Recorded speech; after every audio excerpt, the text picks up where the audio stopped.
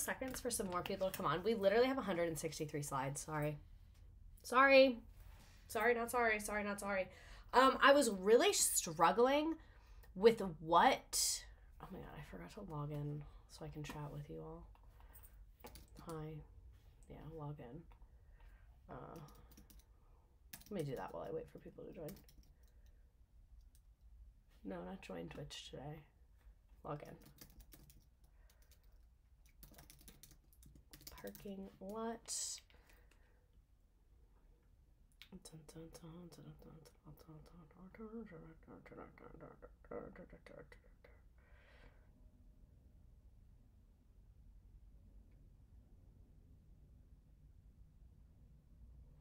oh, I need to put my phone on Do Not Disturb. My god, so much is happening right now. I get so overstimulated from group chats. Like, I love being in group chats because I love being a part of something. But I find, like, when people start talking and I'm in the middle of something, I, like, literally will have a panic attack. Okay, now I'm into the chat. I meant to. Oh my god, what did I just do? Sorry, everything just disappeared. I meant to do that earlier and I just completely, completely forgot about it. Let me put my phone on Do Not Disturb and let's get this freaking party started. Um, okay. Sure. today we are talking about the Jane Fonda. This is going to be a mix of all the things we love. We're going to be talking about terrible men. We're going to be talking about the Vietnam War. We're going to be talking about body issues. We're going to be talking about feminism. We're going to be talking about civil rights. Jane Fonda has truly done it all. Like I said, we have so much to discuss. We have 163 slides tonight, so we're going to get straight into it. Actually, I lied to you. I have one, two other things to say. So, number one, please donate to Dr. Sofian. I um, talked to him the other day, and donations are just like super, super slow. Everything is super terrible um, which unfortunately is not news. That's been the vibe for a little while now. Um, the PayPal is on my link tree. That should be working now. So if you cannot, and if someone could put the PayPal in the chat, that would be awesome. Um, if you cannot use GoFundMe because your bank blocks it or whatever, PayPal should work. Um, oh my goodness, I just realized I forgot to change our backdrop, which was going to be about my other thing. Give me one second. There we go. That's our backdrop for this week. Because next week we are talking about Glee. Because I was like, how does one stream on election night? How does one do that? Because I don't think we're going to get the results that night. I really just don't. I don't know why I believe that, but I do. And I was like, even the thought of doing a live watch makes me want to throw up. So I was like, you know what would make me not want to throw up? Literally watching the worst possible moments from Glee. My cousin is like so into Glee. She thinks it's like the most like insanely written show ever and she's making the stream. So I'm really excited for that one. Have fun Gleeks. I'll be closing the polls. Thank you for your service, like genuinely. Thank you for your service. It's the perfect amount of brain rot. That's how I felt. I was like it's just the perfect level of unserious because if we got too unserious, it's like the world's falling apart. Let's focus. Glee was just perfect. Absolutely perfect. So, anyway, let's talk about the Jane Fonda. If you don't know who we're talking about, this is Jane Fonda. She's literally gorgeous. That's a relatively recent picture of her. So, Jane Seymour Fonda was born December 21st, 1937, born literally in the Depression she's lived through so much. Imagine being a child in World War II. Oh my God. Um, she's an American acti- actress and activist. Recognized as a film icon, her work spans several genres and over six decades of film and television. So, section one, we have family lore. We have sections now. You mad about it? Get over it. I like it. so, she was born via C section in 1937. I didn't even know they could do that in 1937. Like, am I stupid for thinking? Like, am I stupid for being surprised by that? I was like, whoa. C section, 1937. That sounds like a horror movie. Like, I don't know. I was very taken aback by that. I'm not saying it wasn't possible. I just, I was taken, I felt like that was noteworthy. I feel like you did you like you don't hear about c-section. I love the inclusion of her being born versus c-section. I think it was important to know because it was literally 1937 i feel like those weren't nearly as common then. Am i wrong for that? Like um at doctor's hospital that literally sounds fake as fuck. What hospital do you work at? Uh, doctor's hospital. I work at the doctor's hospital. Her parents were Canadian born socialite Frances Ford Seymour and American actor Henry Fonda. Nepo baby!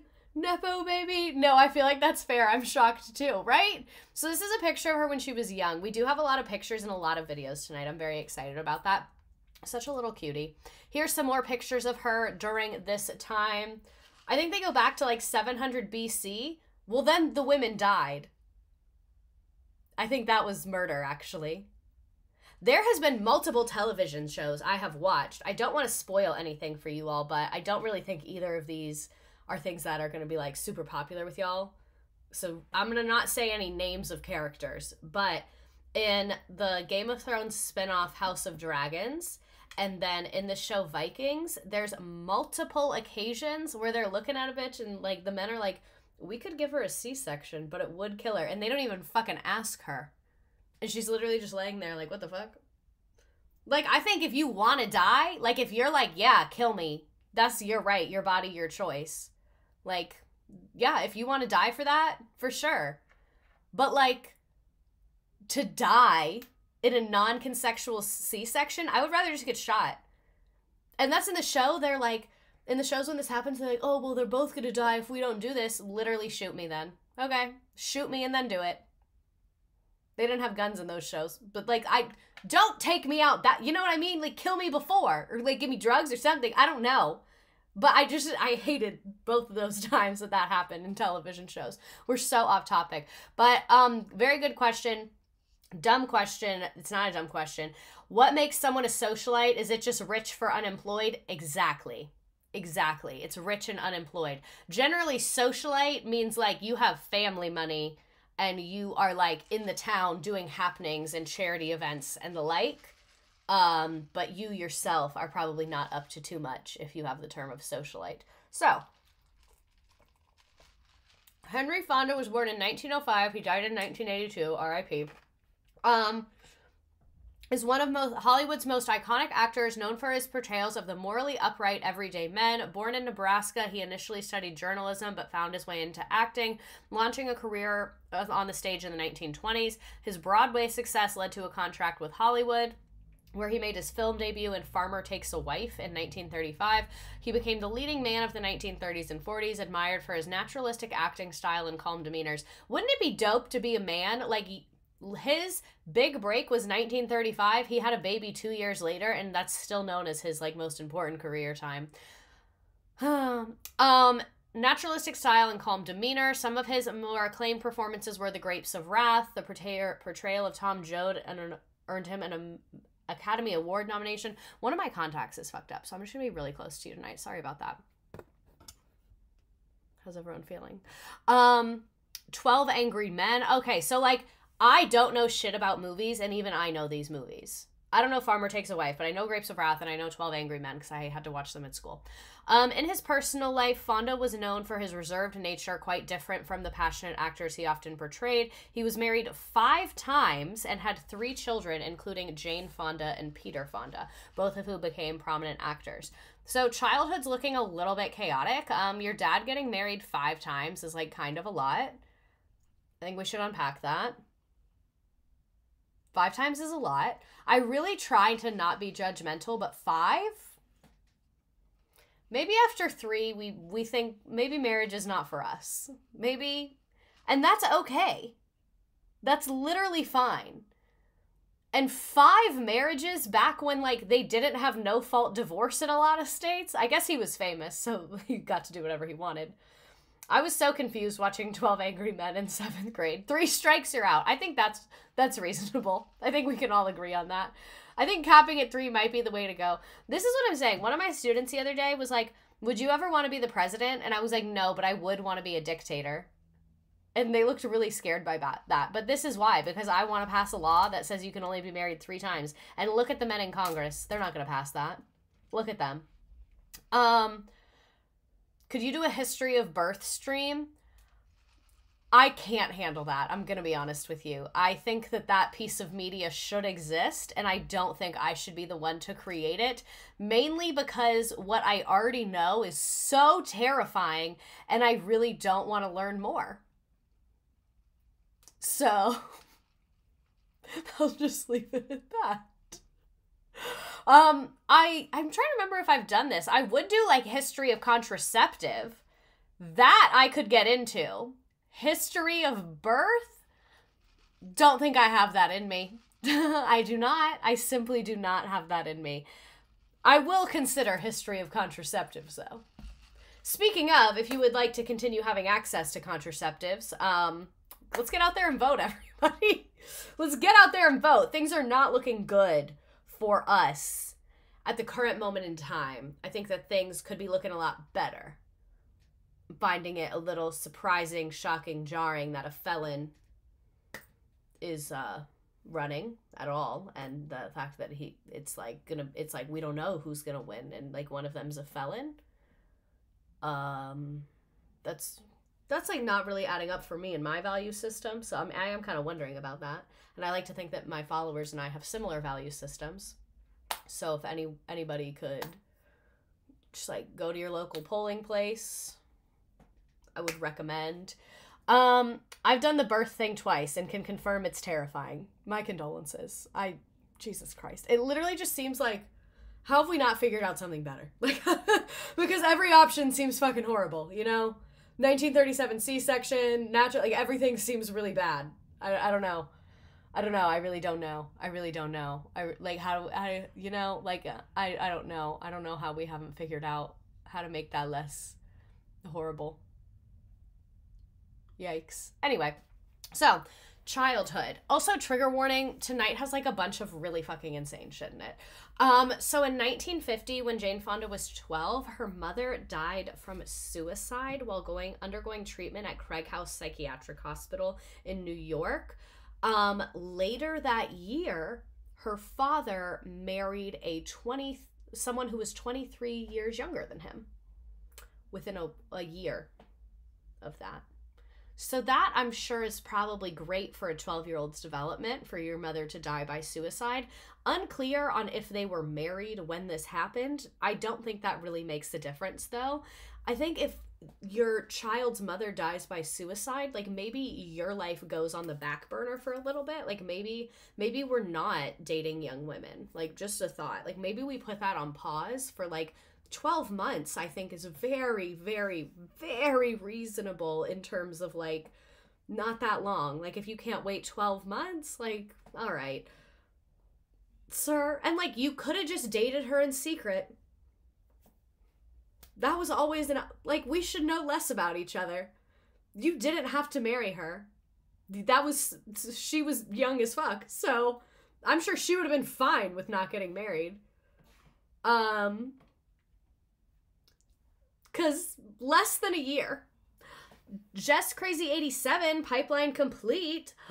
So then Jane Fonda attended Greenwich Academy in Greenwich, Connecticut, the Emma Willard School in Troy, and Vassar College in Poughkeepsie, New York. So yeah, there's a lot in that paragraph. Like that is um and that marriage ended in divorce, just BTW. The the person 23 years younger than you that you married a year after this poor woman committed suicide. That one wasn't a long lasting marriage. Okay. Are we shocked?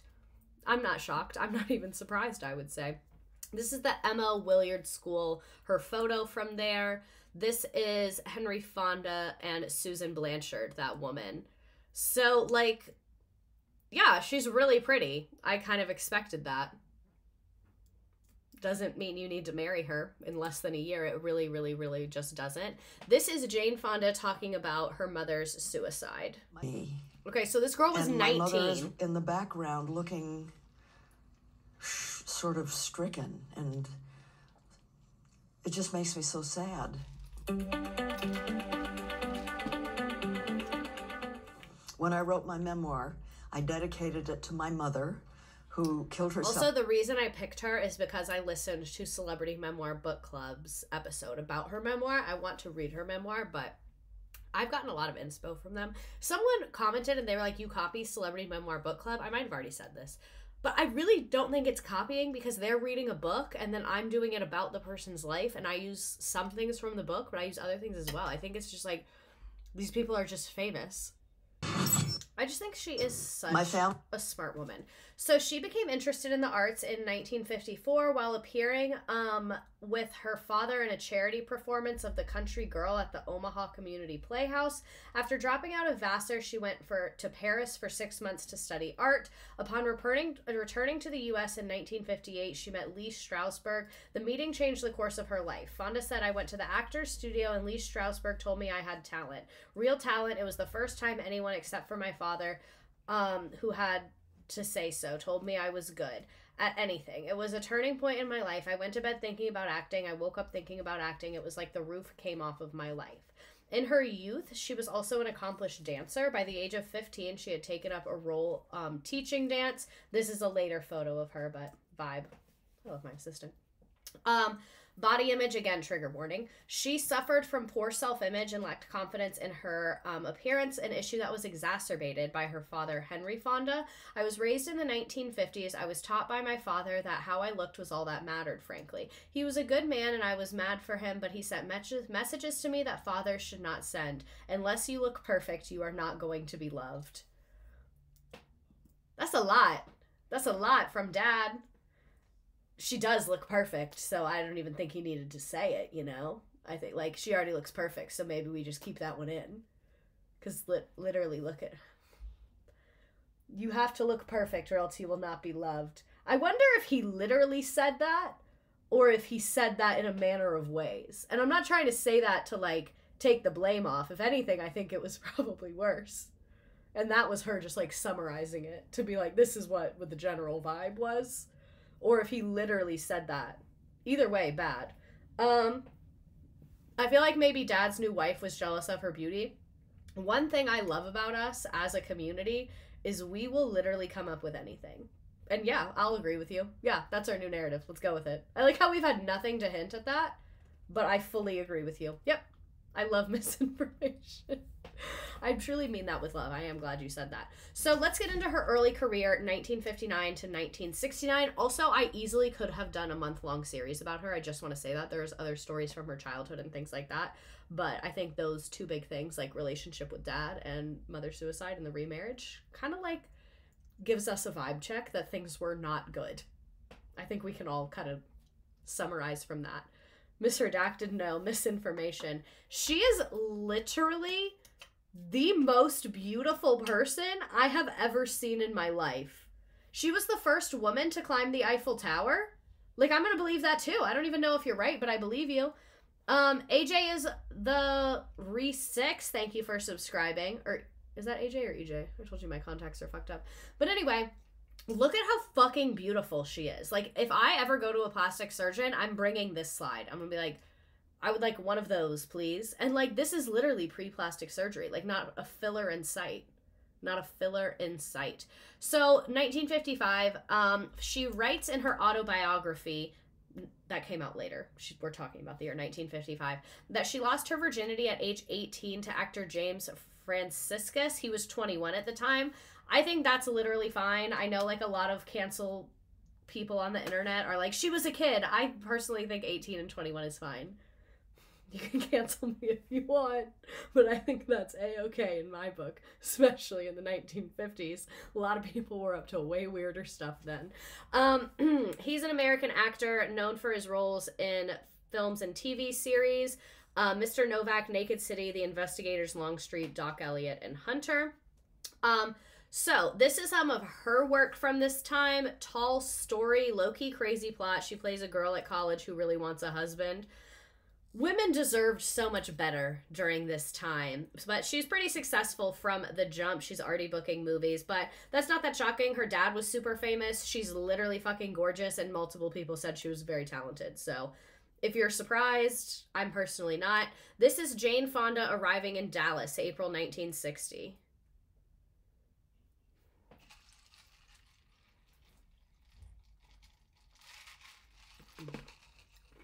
Okay, she literally looks like Jackie Kennedy. Look at her. Okay, she's literally an icon. I can't. Um, What's my line? Jane Fonda, Martin Gabel, and Polly Bergen. Is this like a the old sh- show?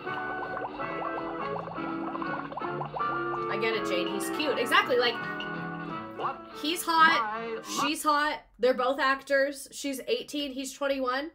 That is a rare time that like a losing virginity as a famous person story goes really well.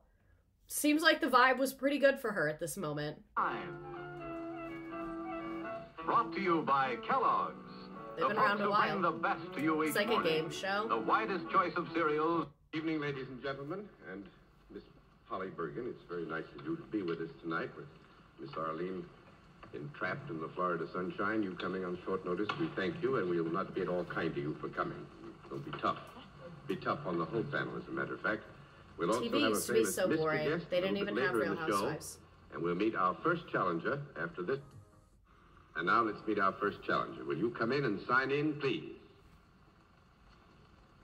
Where is she?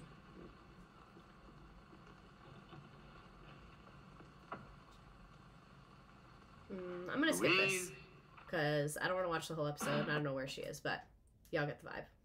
She's doing game shows. She's on TV. She's doing her thing. So late 1950s, early into the 60s, she dated automobile racing manager Giovanni Vol- Volpe, producer San Antonio San Divucuna. I sound like a racist person from the 1950s that like hates Italians.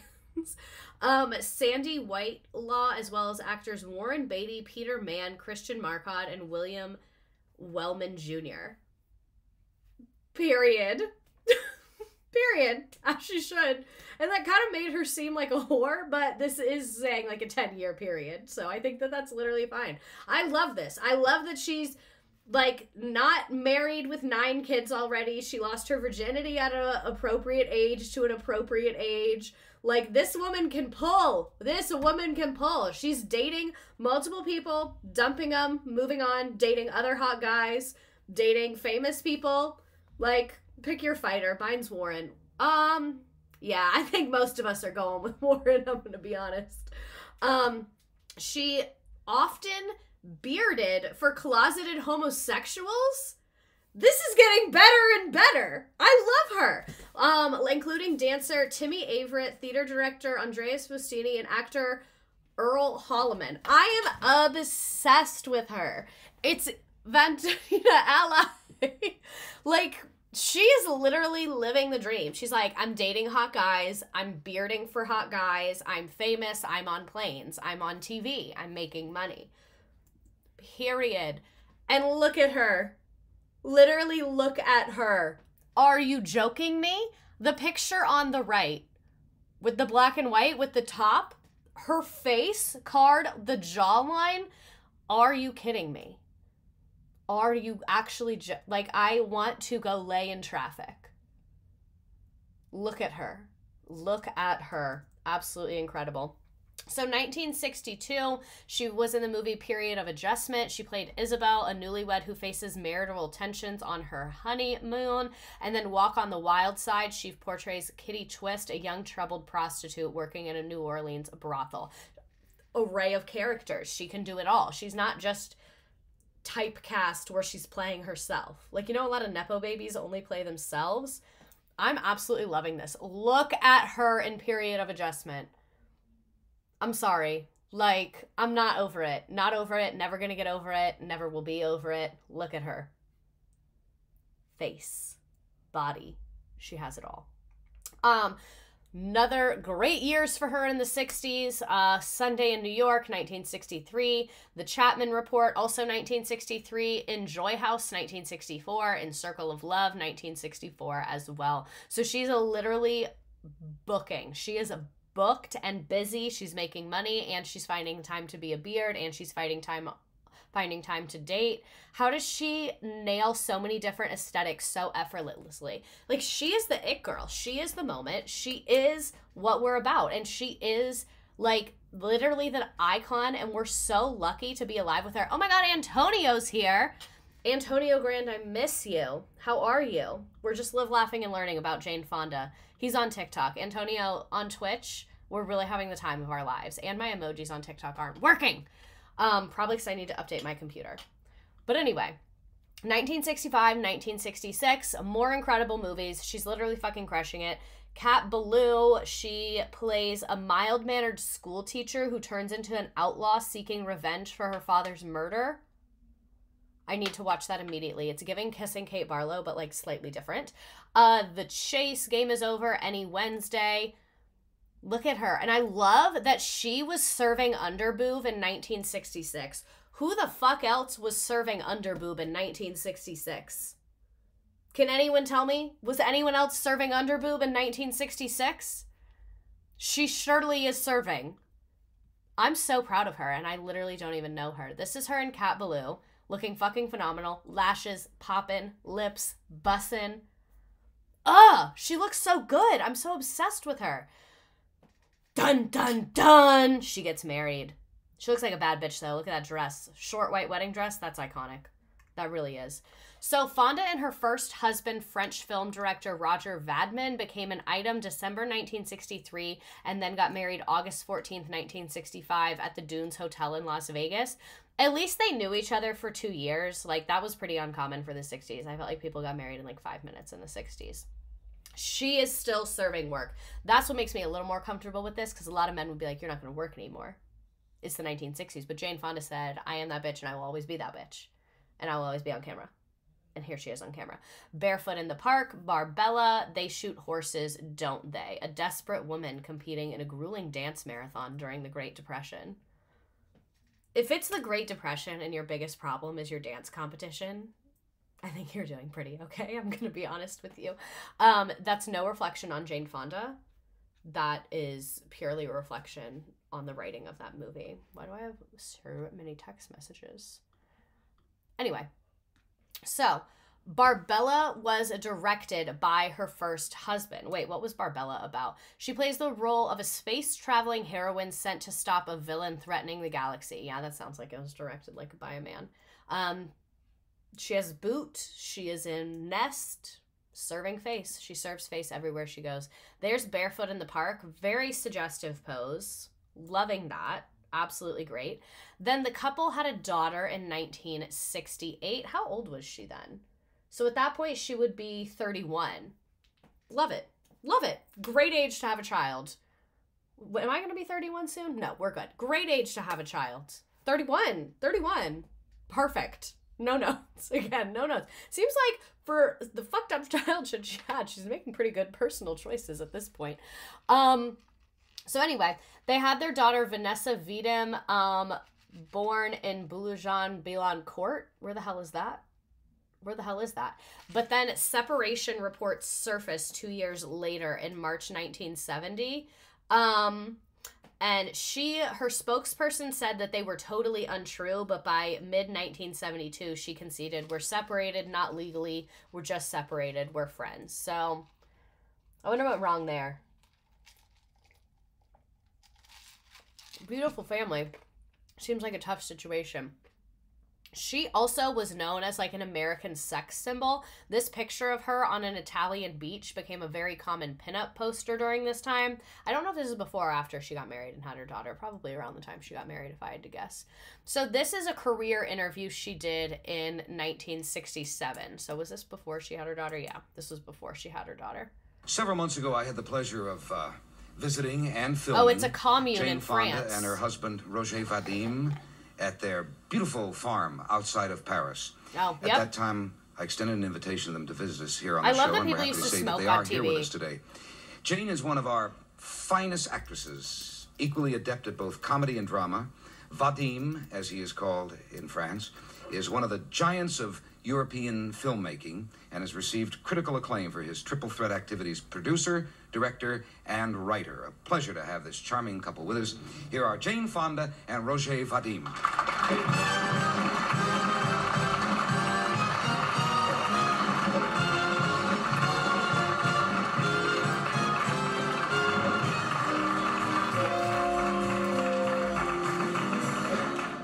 First, I don't know where to look.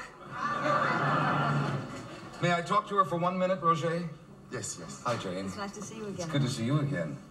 Uh, Is, is there a name for all of it? With black stockings and a miniskirt. This is uh, outfit to catch planes in. Ah, that's right. Yes. You're tearing right out of here tonight and going home. Yes, back to that farm that you know. Happily so, though, aren't you? Yeah. Good, good. Had a good trip? Late night TV is always You enjoyed awkward. it, Roger? Uh, what? Uh, the trip to America. Oh, yes. It's not the first one, it's not the last one either, and uh, I enjoyed my time. The permission between time, men about a very much. full grown Yeah, but they've been woman. running you all over town uh, uh, for interviews, and uh, that's a lot of work, isn't it? Yes, but you know, I, I managed to, to have my wife work more than I did those last days, and it's all right. Don't piss me off. Oh, that's better. Yeah. He's very cool. He, I don't know how he does it. I'm the one that gets him nervous, and he's just sort of floats through it all. Very relaxed. Oh, yeah. Yeah, I don't want to watch this. He's, Several like, months kind ago- of pissing me off. So, um, I wish that this was in here. I want to read a little bit. It says the truth about her marriage. So, as Fonda's star rose, she became associated with the sex kitten role she chose to take on, like in Barbarella. Um, so she said, What Vadim gave me was huge, huge. He reawakened me sexually. There's no doubt a part of my attraction to him in his life was because it was so different from the repressed style in which I had been raised. But apparently, they had an open marriage arrangement. Um, and that is why they got divorced because she got tired of it. That's why I felt like there was a drama in there. So, open marriage didn't really work out like that. So, in the 1960s, she really started to move into civil rights activism. And some of her activism stuff, we kind of grouped it by category, so the timelines will kind of go back and forth a little bit. I figured it make more sense to go by category and just know she's doing a lot of stuff at one time. It's impressive. So, late 1960s, as her acting career gained, he was reminding her of her dad, I bet. Oh, T. T. Oh, Freud is rolling. Anyway, as Jane Fonda's acting career gained momentum, she began using her public platform to advocate for social causes. Early on, she aligned herself with the Black Panther Party, an organization established in 1966 aimed to protect Black Americans from police brutality and address the systematic social and economic inequalities faced by the Black community. I think the Black Panther Party is absolutely fascinating. It's one of my favorite things to teach in U.S. history. I have a stream about it. Um, I don't remember when it was. It was a while ago because that was one of the first ones that I did. But the Black Panther Party is an incredibly interesting organization. There's a lot of misconceptions about it, um, and I think that everyone should just be learning about it because it's it says a lot about our government. I'll leave it at that. The government ripped them apart and killed a lot of people. Anyway. I could talk about the Black Panther Party for hours. They're fascinating to me. I'm very inspirational. So Fonda recognized the Panthers as a critical force for change, and she supported them both financially and publicly. Um, while pregnant, she actively participated in civil rights protests, joining Black Panther members in demonstrations and marches to advocate for African American rights and civil protections. She not only contributed financially, but she also worked to secure donations from others to support the group. Her visible and vocal support of the Black Panthers drew attention to their cause as she used her influence to raise awareness about their objectives and struggles. I feel like the Hollywood icons are not doing it like Jane Fonda was doing it. Jane Fonda said, I just became famous. Let's talk about the Black Panther Party. Let's talk about it. And I feel like now no one wants to talk about anything because their manager is like, shut the fuck up. But Jane Fonda was like, well, we're going to talk about the Black Panther Party. What do you mean? Because we're going to talk about the Black Panther Party. So, early 1970s, continued support for Huey Newton and the Black Panther Party. She remained closely aligned with them through the 1970s, um, particularly the leader Huey Newton. She describes the Panthers as our revolutionary vanguard, highlighting her deep commitment to the movement. In a passionate statement about her decision to about her dedication to their cause, Fonda said, Revolution is an act of love. We are children of the revolution, born to be rebels. It runs in our blood. She expressed that the Panthers embodied the spirit of revolution, and she sure urged others to support them through love, money, propaganda, and risk. Does she regret it? To Miss Fonda, uh, do you think your very public political views in the 60s, which, by the way, I completely supported then and now, uh, had a negative impact on your career? And if so, do you have any regrets looking back? Okay, it was 60s, 70s, 80s, 90s, 2010, all the way up to 2000 and what year is it? 17. What year is it? 17. I have my political views. that change as you do when you get older. And I lived 20 years in Georgia, so I have more empathy and compassion and patience. And do I? No, I no, I I. You know, I'm the daughter of Henry Fonda, who played Tom Joad in Grapes of Wrath and 12 Angry Men. And, you know, you have a parent like that, and you grow up wanting to stick up for the underdogs, and you hate bullies. And, you know, artists of all kinds You're, yes, you're an actor. And tend tend to speak truth to power, you know, and I'm and I'm grateful for my dad's influence. Thank you for the question. Do you I, I, I wonder about that because it's a very kind of charged political environment now. And Is it? both- yeah, I, I've, noticed, I've noticed I've noticed occasionally that people seem to be getting angry um, at the drop of a hat. I wonder, do you ever temper you either one of you? Do you ever think I, I can't hear it anymore, or are you still as um, Well, they're both, like, appalled at this about question. all the the cause? Both of you, really. I, I would ask that. Oh.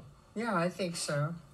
I, th- I think uh, This is the first time I'm learning about her, and I'm in love. I'm glad. Administration, this the whole turn that everything's taking. Yeah. And it's it's very wonderful to see how many people who have never considered themselves activists are becoming active and how many I mean thousands of women are wanting to run for office now that would never have considered that before. I think Yeah. that's that's really great. So she's always been politically involved. She's always been like from what it seems like on the right side of history. I mean, she, she's human. I'm sure she's made mistakes. I'm sure some of them will be in here, but seems like she was pretty on the right side of history from the jump.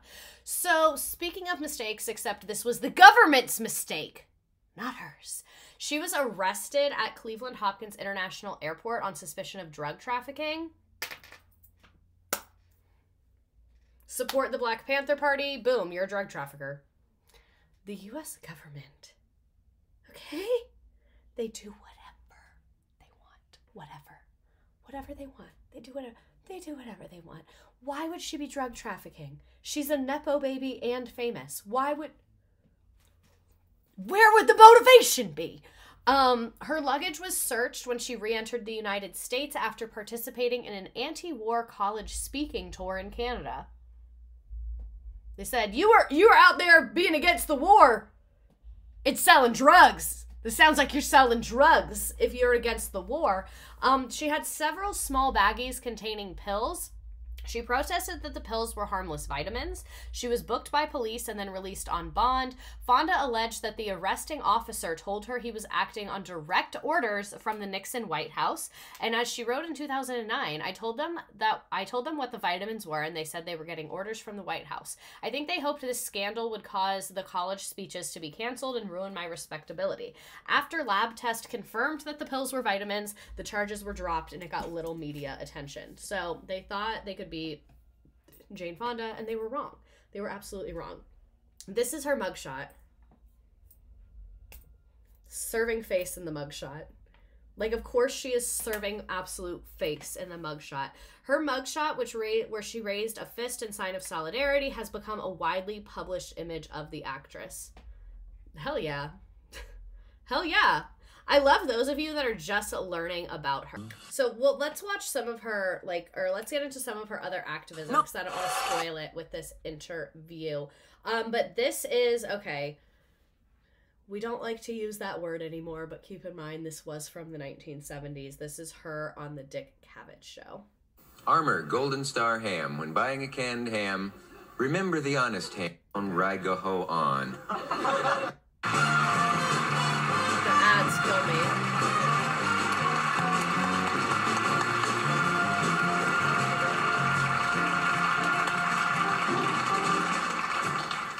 Nice. And a lovely thing you are, too. Oh, thank you, Dick. Do, do you remember me? Yes, I do. Of course, I remember you. Do you really? Yeah. Remember the about honest that? as opposed to the Where, lying where do you ham. remember me from? The last time I was on the show. You were on the show once before. Yes, I was. Yes, no, I know that very This well. But do you remember the first time we ever met? time, so this I'll is a terrible it. thing to say. No. What's the first time you ever remember meeting? On your show? Really? Yes. This is boring. And you said buzz off, Mac. Really? They really are convinced. Do, do they act different toward you now? Does anyone treat you more seriously? Or... Uh, You forgot yeah. me, right?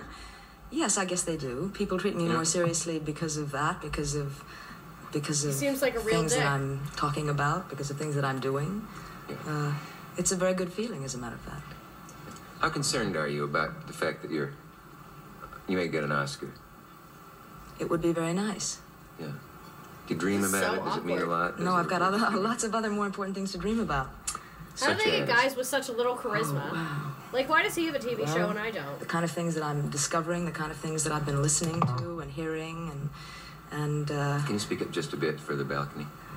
yeah, you can't hear me up there. I've been having lots of dreams about the kind of things that I've been seeing and hearing and finding out This is about, big and where some of my it's very out disturbing. And uh, uh, I guess those are more important things to dream about than Oscars. It would be very nice if I got an Oscar, though. Mm-hmm. But She's uh, carrying the whole thing. who thing. knows? You were in the papers not too long ago with something that had happened involving an army base and and some Indians.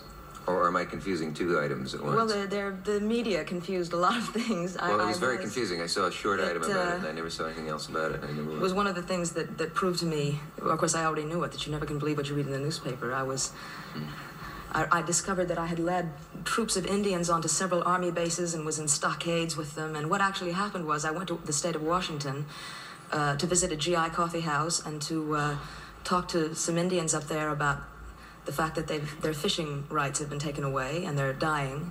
Uh, they're starving to death because of it. Uh, Real.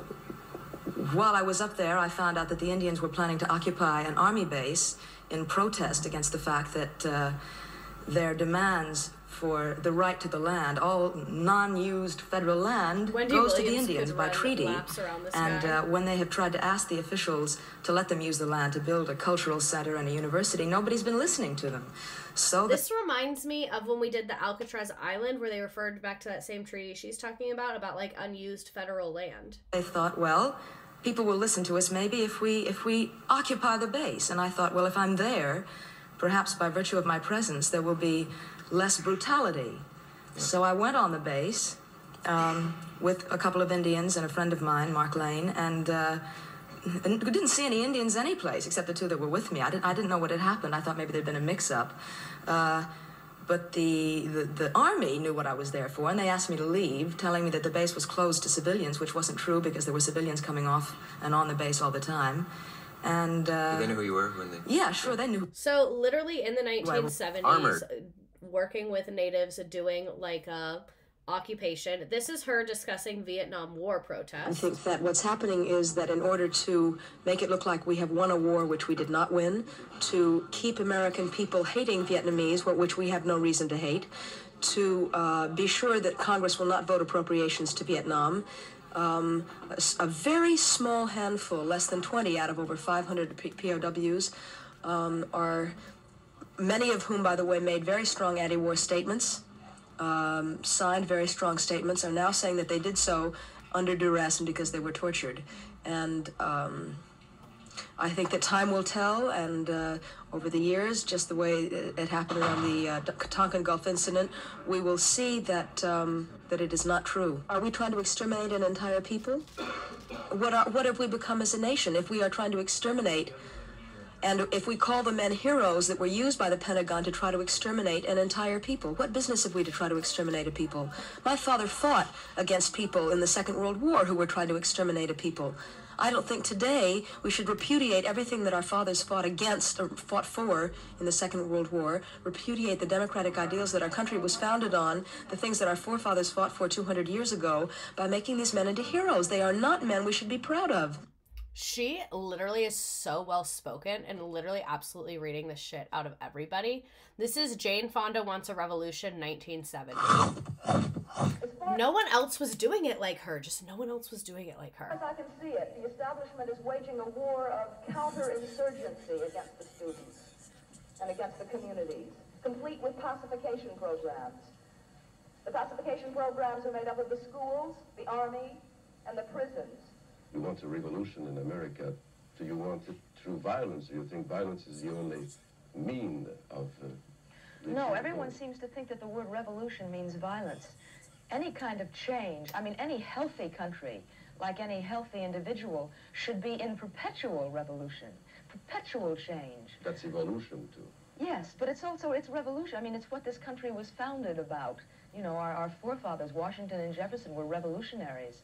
Um, I think personally that the capitalist system is doomed to die. I don't think that it can last forever. In the Uh, this may happen 1970s. in a nonviolent way. One hopes that that would happen. Um, but of course, the powers that be, the powerful people, are probably not going to go down without a fight. So there may very well be one day uh, some violence. There's violence right now. You know, when people talk about violence, they should look at where the violence is coming from. It's coming from the administration. We have an administration, every member of whom Speak is a war it. criminal. We have broken every international law which we, the United States, along with the other countries, formed and ratified. She's just fucking going clear for what a war crime is, and every one of the people in this administration and the last administration, and uh, and the military heads who are responsible for our policy in Southeast Asia are war criminals. The Nazi officers and the Japanese were executed for less. Do you believe that there is A building at my university was designed specifically to be confusing and hard to get around so that the Vietnam War prod- protest would be harder to organize. She truly gets it. She gets it. Her mind is awake. sympathy with the Palestinians or the Tupamaros or the Angolese or even the uh, Palestinians in 1970. Not where I thought this was going to turn, but the genocide in Palestine did not start recently. That has been going on for a very, very, very, very long time. And when this was filmed, Israel was an extremely new country. It's still relatively new historically, but in 1970 it was very new. And yes, please donate to Dr. Xiofyan. I wish um, Jane Fonda could. Maybe she's watching this later. Quebec FLQers, for instance? I, I am in sympathy. I do think that there is an international uh, movement. Uh, I, I feel sympathy for any peoples who are who are fighting for socialism, who are fighting for for for liberation. Truly, of- to say of this during the Cold War, she's incredible. terrorism, for instance. No, I, I don't believe. Morally, I can understand why in America, for example, uh, people have, have the impulse to bomb a building which is making materials that kill people. You know, I can understand that. And since all normal means of recourse are blocked to us, you know, the frustration comes out in those acts. I personally think that they are elitist. I don't think that they build a mass base upon which one can work and organize. She Um, fucking gets What about it. Black Panthers and the Weathermen then? Yes, I, I, they're not the same at all. The Weathermen are a group of, uh, of people who, who are underground, who have forced, forth, formed a fifth column. Um, I don't know what she's talking about. and as I said, I don't condone acts of terrorism. The Panthers do not bomb. They are armed I I knew she was chill. I didn't know she was like that level. Like what the papers say. I knew she was high up there, but I didn't realize it was this high up there. As a matter of fact, if you ever see large crowds and the Panthers are present, and there is any uh, uh, inkling that there will be violence, it's always the Panthers who, who calm everyone down. Just any tens black everywhere. in America who is not armed is a fool. Is a fool. I completely support the Black Panthers. Like she is the motherfucking moment. Her on feminism, capitalism, and values. I don't Do like you think that now you're still being a tomboy, acting as you're acting now? No, demonstrating not at all. No? No, that's a kind of a very chauvinistic uh, question. People seem to think that if you're a girl, you have to behave uh, in a way that is not militant or political, especially if you're an actress. You know, how dare an actress think or be political? Uh, that, I love is her. a completely wrong way of thinking. Um, What do you think of the Women Liberation Front, for I think it is one, one of the most revolutionary movements in America. I think it's extremely important, and I am fully in support. You have a two-year-old daughter, Vanessa. Yes. In what kind of a society do you think that she'd be living in, let's say about 18 or 15 years from now? Well, I would hope that she would be living in a in a in an unpolluted, Marxist, social. Okay, maybe we should stop excusing old people being toxic because these ideas are not new. She was literally born in 1937. country. Uh, I don't think it's going to happen that fast, to tell you the truth. and I don't know what the state of this country. I want to run that be back a second. What she just said about her daughter. in a in a So in she a- says, in a, in a in 15 years from now, well, I hope she would be living in a. in an unpolluted, Marxist, socialist country, uh, I don't think it's going to happen that fast, to tell you the truth. And I don't know what the state of this She's probably so disappointed in 15 us. years. Um, I would be. I'm very worried about it, obviously, which is why I'm doing what I'm doing. Jane Fonda low key becoming my favorite political More or philosopher. less given by your parents to you that you wouldn't give to your daughter. Yes. Um, I was brought up with a lot of concern about money. Uh, if one didn't have enough, one was very nervous. It was sort of, as with most Americans, something that is quite sacred. Possessions were very important in the kind of milieu in which I grew up in. Um, I, I have overcome that, and I will not lay that kind of myth on my child at all. She really is just an icon. Here's her speaking about Vietnam, Jane Fonda. Um, role in Klute in 1971. She played Bree Daniels, a high priced call girl, earning her first Academy Award. This is her and David Sutherland in the movie. Um, her role as Bree Daniels in Klute won her an Oscar for Best Actress in 1972. My dad is from 1939, and growing up, I never let him use the I'm old excuse for not learning and growing. If he's still learning and growing at 85, no one has an excuse. So true. So, in the early 1970s, she had affairs with political organizer Fred Gardner and Klute co star Donald Sutherland. Isn't she single? Why is it an affair? I think she was just having a good time. Um, during this time, she said she struggled to get jobs. From comments ascribed to her in interviews, some inferred that she personally blamed her career struggles on her outspoken political views. She said, I can't say I was blacklisted, but I was graylisted. However, in 2005, in her autobiography, she rejected the such simplification. The suggestion is that because of my actions against the war, my career had been destroyed. But the truth is that my career, far from being destroyed after the war, flourished with a vigor it had not previously enjoyed. She reduced acting because of her political activism, providing a focus on her new life. She returned to acting in a series of issue driven films that reflected this new focus. Um, in 1972, she starred as a reporter alongside Yves Montand in Tout va bien, um, directed by Jean Luc Godard. This is too many French people, sorry. The two directors then made Letter to Jane, in which the two spent nearly an hour discussing a news photograph of her. Um, at the time, while in Rome, she joined a feminist march on Mar- feminist march on March 8th and gave a brief speech in support of the Italian women's rights. Marriage number two. Three days after obtaining a divorce from Vadim, she married Tom Hayden. But let's remember, her and Vadim had been separated for like three years at this point, so they probably just like hadn't done the paperwork, and then she wanted to marry this other guy and was like, "Can you sign your shit, please?" I bet that's what happened. It was a free-form ceremony at her home in Laurel Canyon. She had become involved with Hayden the previous summer and was three months pregnant when they got married. Their son Troy was born July 7th, 1973, in Los Angeles, and was given his paternal grandmother's names, as the names Fonda and Hayden carry too much baggage. That's kind of funny. Fonda and Hayden named their son for Nguyen Van Troi, a Viet Cong member who attempted to assassinate the U.S. Secretary of Defense Robert McNamara. Hayden chose O'Donovan as the middle name after the Irish revolutionary Jeremiah O'Donovan Rossa. Hell yeah, man. Hell yeah. She was like, Who was that guy that tried to kill the U.S. Secretary of Defense? Let's name him after that guy. As she should as she should. This is her with that guy. It seems like they were very much activists together. Um so he was not married during the time of the movie. Yeah, so why did they call it affair? Like they were both not in relationships. They were just having a good time. This is them with their son, I assume. Um, this is them with their son in Santa Monica in 1976. I love her hair in this. A big hair in top right. Yeah, she just looks great. She used her kid as an activist statement. That's wild. I'm so obsessed with her.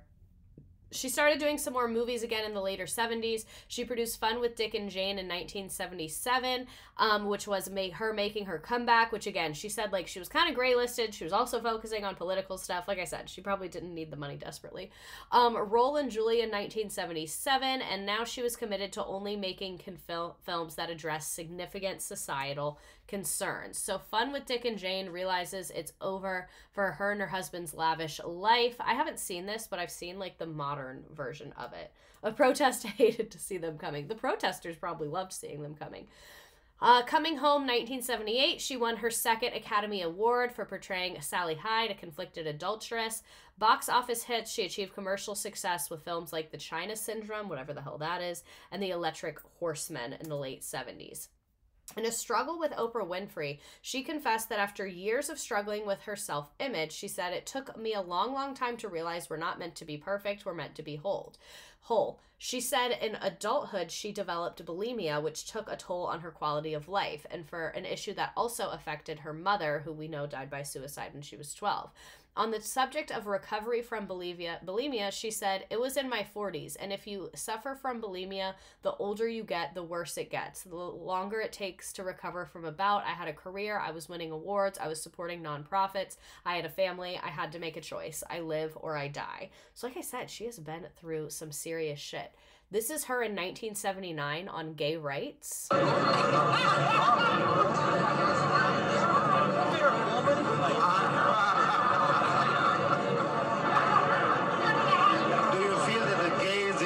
Francisco, they're very powerful and very strong, they need your support? Are they still being discriminated against? Do you feel that? Oh, absolutely. To ask if the gays are being discriminated against in 1979. Oh, absolutely. Uh, culturally, psychologically, economically, politically, uh, gays and lesbians are discriminated against. They are a very powerful And she movement, brought up especially lesbians. uh, in, in San Francisco. They don't need me, but they like me because, and they like our organization, the Campaign for Economic Democracy, because they know that working together we can be stronger than either entity is by itself. So it's really healthy that we try to bring these things together. Are they using you or are you using for your economic democratic campaign? I hope they use me. What am I here for if not to be used by good people for good things? I'm part of Great an answer. organization, and you could also be cynical as you are and ask me, isn't the organization using me? But you could also think, aren't I using the organization just the way the gays and lesbians that are here are using the organization that they're a part of? It helps give us perspective. It helps us keep our values intact. It increases our power because as individuals we don't have very much, but all together we have a lot of power. So everybody uses. The point is, what are you using for? If it's just for greed or selfish reasons, it's one thing. But if you're using each other for things that are good and positive, then why not? I Last love question, Jen. her. How do you see the future of the gay movement in San Francisco in particular and in America in general? There are a lot of white people who don't like the power of the gays. I'm even more invigorated than I thought I'd be during this stream. It's hard to predict, uh, in, a, in a real sense, exactly what's going to happen. All we can know is that what what this movement is Ugh. seeking, which is nothing less than respect and justice, and stopping discrimination against people because of sexual preference. You're on the side of the angels. I mean, it's just and it's right. And so, if we're going to survive as a world, and we may not, but if we do, they're going to win. I thought I got kicked off live. That's why I sighed, but it was a message from last week. She's literally just such an icon. So we've kind of briefly touched on this because it's come up, but let's talk about her opposition to the Vietnam War. We all know I am very obsessed with the Vietnam War. My first stream ever was about the Vietnam War, and then I later did a two part stream about the Vietnam War. So if you don't know about the Vietnam War, I have plenty of resources to teach you about the Vietnam War. I'm obsessed with the Vietnam War. Anyway, so she appeared before an assembly at the University of New Mexico, Albuquerque, to speak on GI rights and issues. GI is like government issued. It's the soldiers. Soldiers is GIs.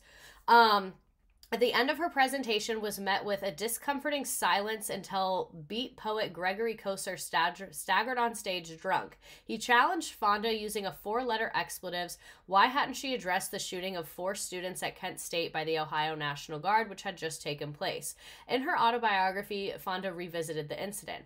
I was shocked by the news and felt like a fool. On the same day, she joined a protest march on the home of the university president, Ferrel Heady. The protesters called themselves They Shoot Students, Don't They? A reference to Fonda's recently fil- released film, They Shoot Horses, Don't They? which had just been screened in Albuquerque.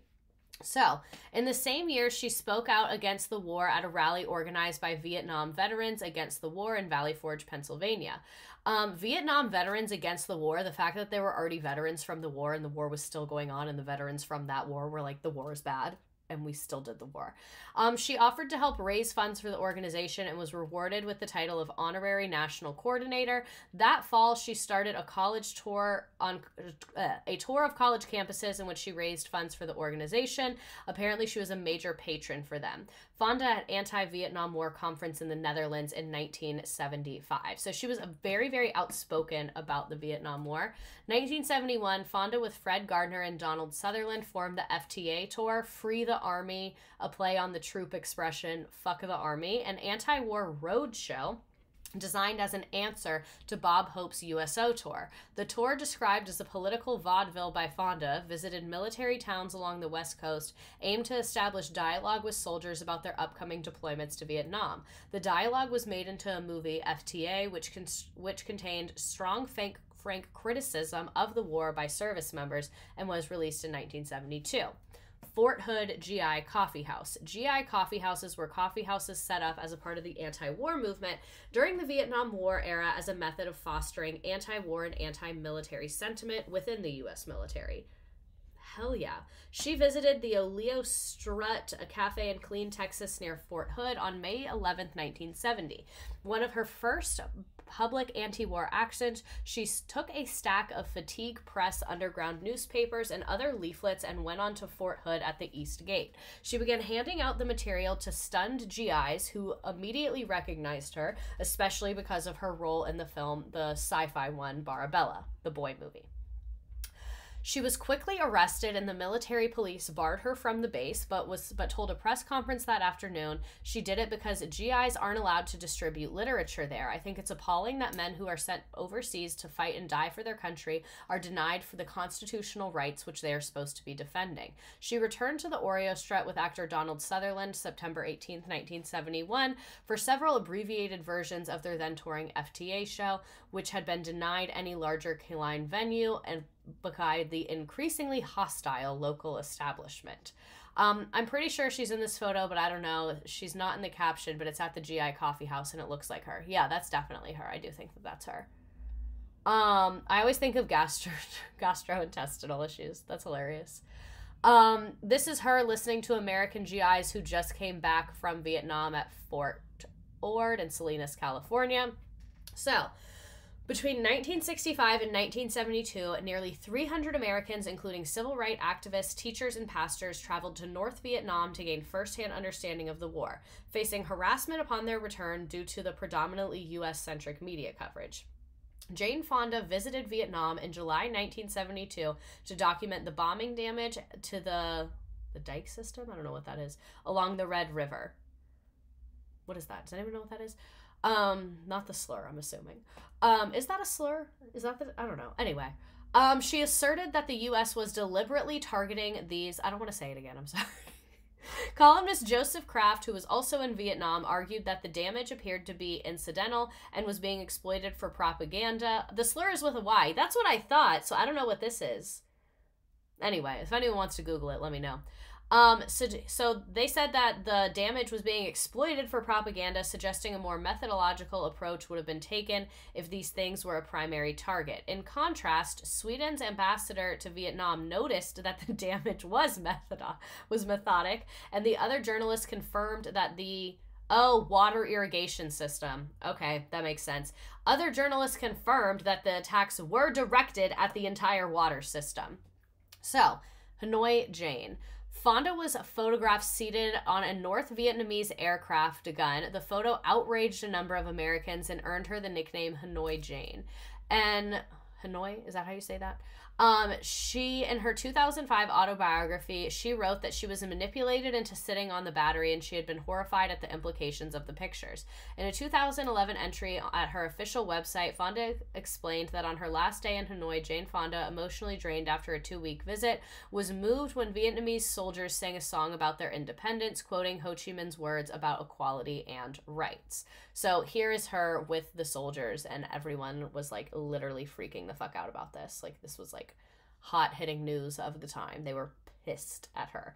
She realized they should not be enemies as they shared similar values. In return, she attempted to sing an anti war song, which brought laughter and applause from the soldiers. During this moment, she found herself sitting near a gun, possibly as a part of a staged event. Reflecting on this experience, Fonda acknowledged a lapse in judgment that continues to haunt her. She expressed remorse for any pain caused to the servicemen and their families and emphasized that it was never her intention to harm anyone. I completely see how this happened. Like, yes, that's not a good look that you're next to this big gun and when you're like so anti violence, but like she was there to learn about the war. Obviously, she's going to talk to everybody that she can. Like I said, I see why people were upset, but I don't really think it was worth being upset about. Um, during her two week tour of North, like, it's not worth being upset about in the sense that like soldiers who fought in the Vietnam War have the right to be upset if they feel like that's damaging to them because she's with the um like they were singing about Ho Chi Minh and stuff like you know and like the North Vietnamese was the one that our country was fighting so they're like you're posing with the people that were fighting but like she's there to learn so obviously she's going to talk to those people. Yeah. So like it's a lot. It's a lot. Like I get it why soldiers were upset but like I said I don't think that's what the most important thing to be upset about is. Like, I think there's a lot of other more upsetting things. During her two week tour of North Vietnam, Jane Fonda made radio broadcasts detailing her visits to bombed villages, hospitals, schools, and factories while condemning the U.S. military police. She met with American POWs and brought messages back to their families. When the Nixon administration publicized claims of torture against returning POWs, Fonda dismissed these as hypocrites and liars, asserting that the prisoners she had met had not experienced torture or starvation. Despite her denial of allegations that she had been coerced into meeting POWs, persistent rumors circulated suggesting otherwise. In 1972, Fonda helped organize the Indochina Peace Campaign, mobilizing anti war activists in the U.S. following the Paris Peace Agreement. Um, a compilation of Jane Fonda's radio Hanoi recordings, along with the voice of Vietnam interludes between them. The first broadcast, Fonda is speaking about the anniversary of signing the Geneva Accords in 1954 and about the history of Vietnam's struggle against imperialism.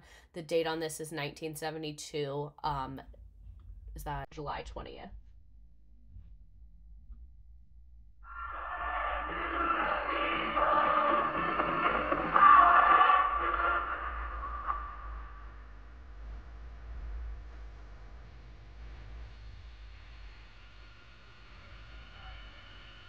Now listen to the movie actress Jane Fonda addressing the GIs on the occasion of the 18th anniversary of the signing of the Geneva Accord.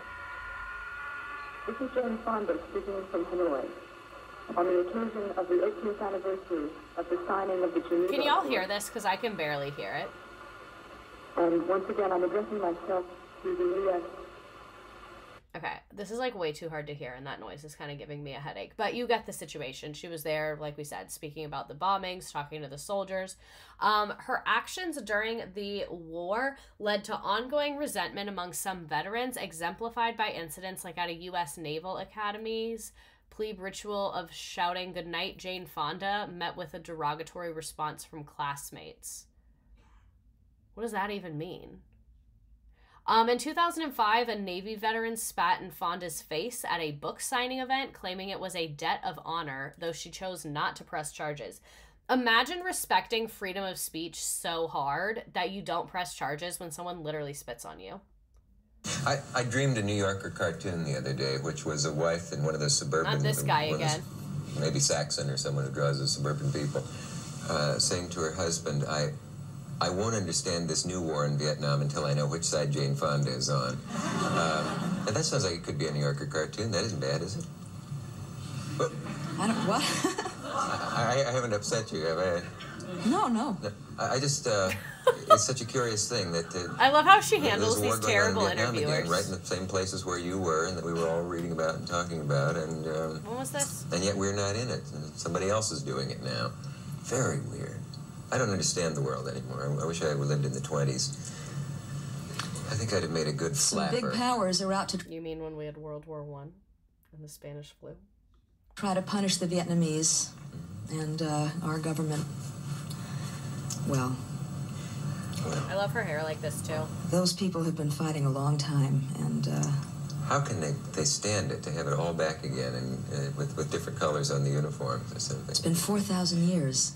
For those people who said they're just a pawn in the hands of China, I hope that people will begin to understand that they will fight anyone, including the Soviet Union, communist or capitalist country alike, anyone that tries to take away their independence. That's what it's about. The Vietnamese people are saying, just as we did 200 years ago, we will control our destiny, we will own our own land, we will have our own government, and if it means dying in the process of getting it, we will die. It's amazing. Say your father corrected something you said. Did you read about that? He was absolutely right. yeah, well, I'm working, Nixon's not, but he is certainly getting a lot of money from us, even though it's not working to get it. yeah, you had said I'm getting paid these And- days, and he Nixon isn't. isn't, your father pointed out I that he was- was making quite a good deal of money. And uh, right. right. that was interesting because your your father has had to tread a rather de- delicate line at times with some of his old buddies. Uh, So yeah, she's on TV. She's talking about the Vietnam War. This is ca- her calling for Jane Fonda calling for Vietnam POWs to be executed as war criminals. against American imperialism. Many Americans would never forgive her for what she did and said. According to international law, these men are war criminals. That's according to law, according to the Nuremberg principles, according to the Geneva Accord and others. They should be tried in front of a court and probably executed She didn't say they should be executed. She said according to the Geneva Convention they should be executed. She didn't say according to me they should be executed.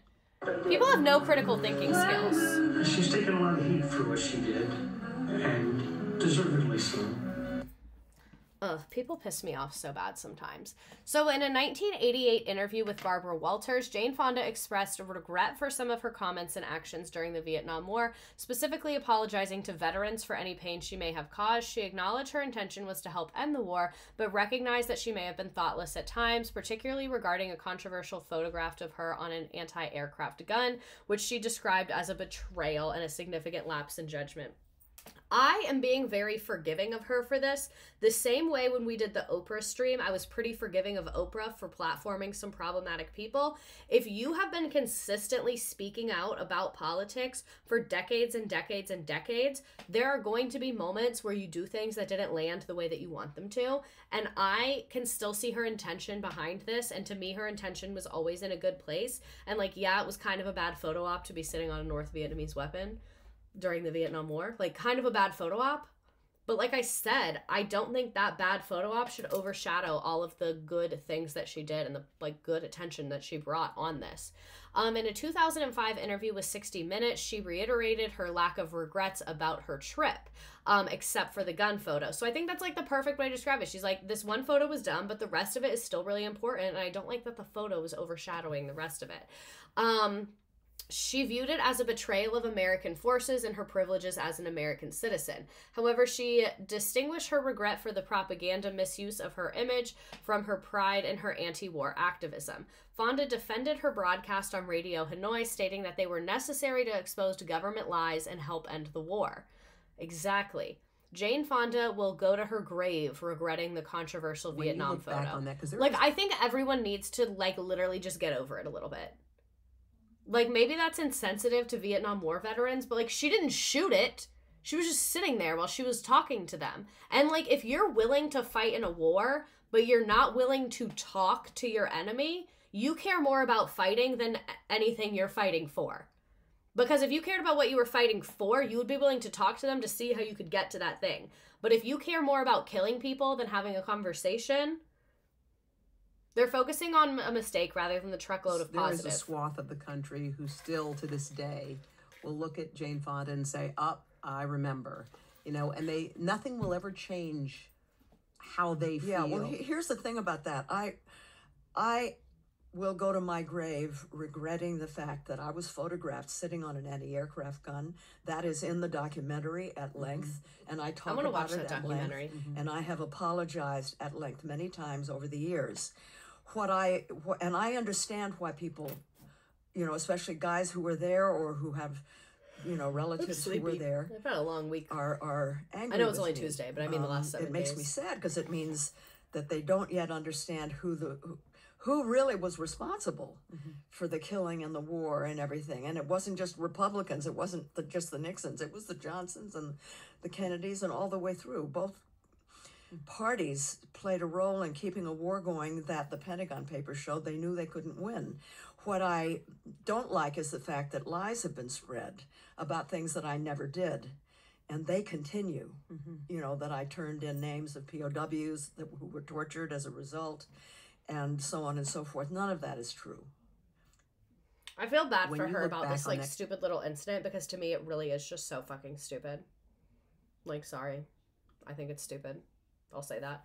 Um in December 1970, FBI Director J. Edgar Hoover authorized a plan to undermine actress and political activist Jane Fonda's reputation by having the uh, the agency send an anonymous letter to a Hollywood gossip columnist. I think this is before the photo.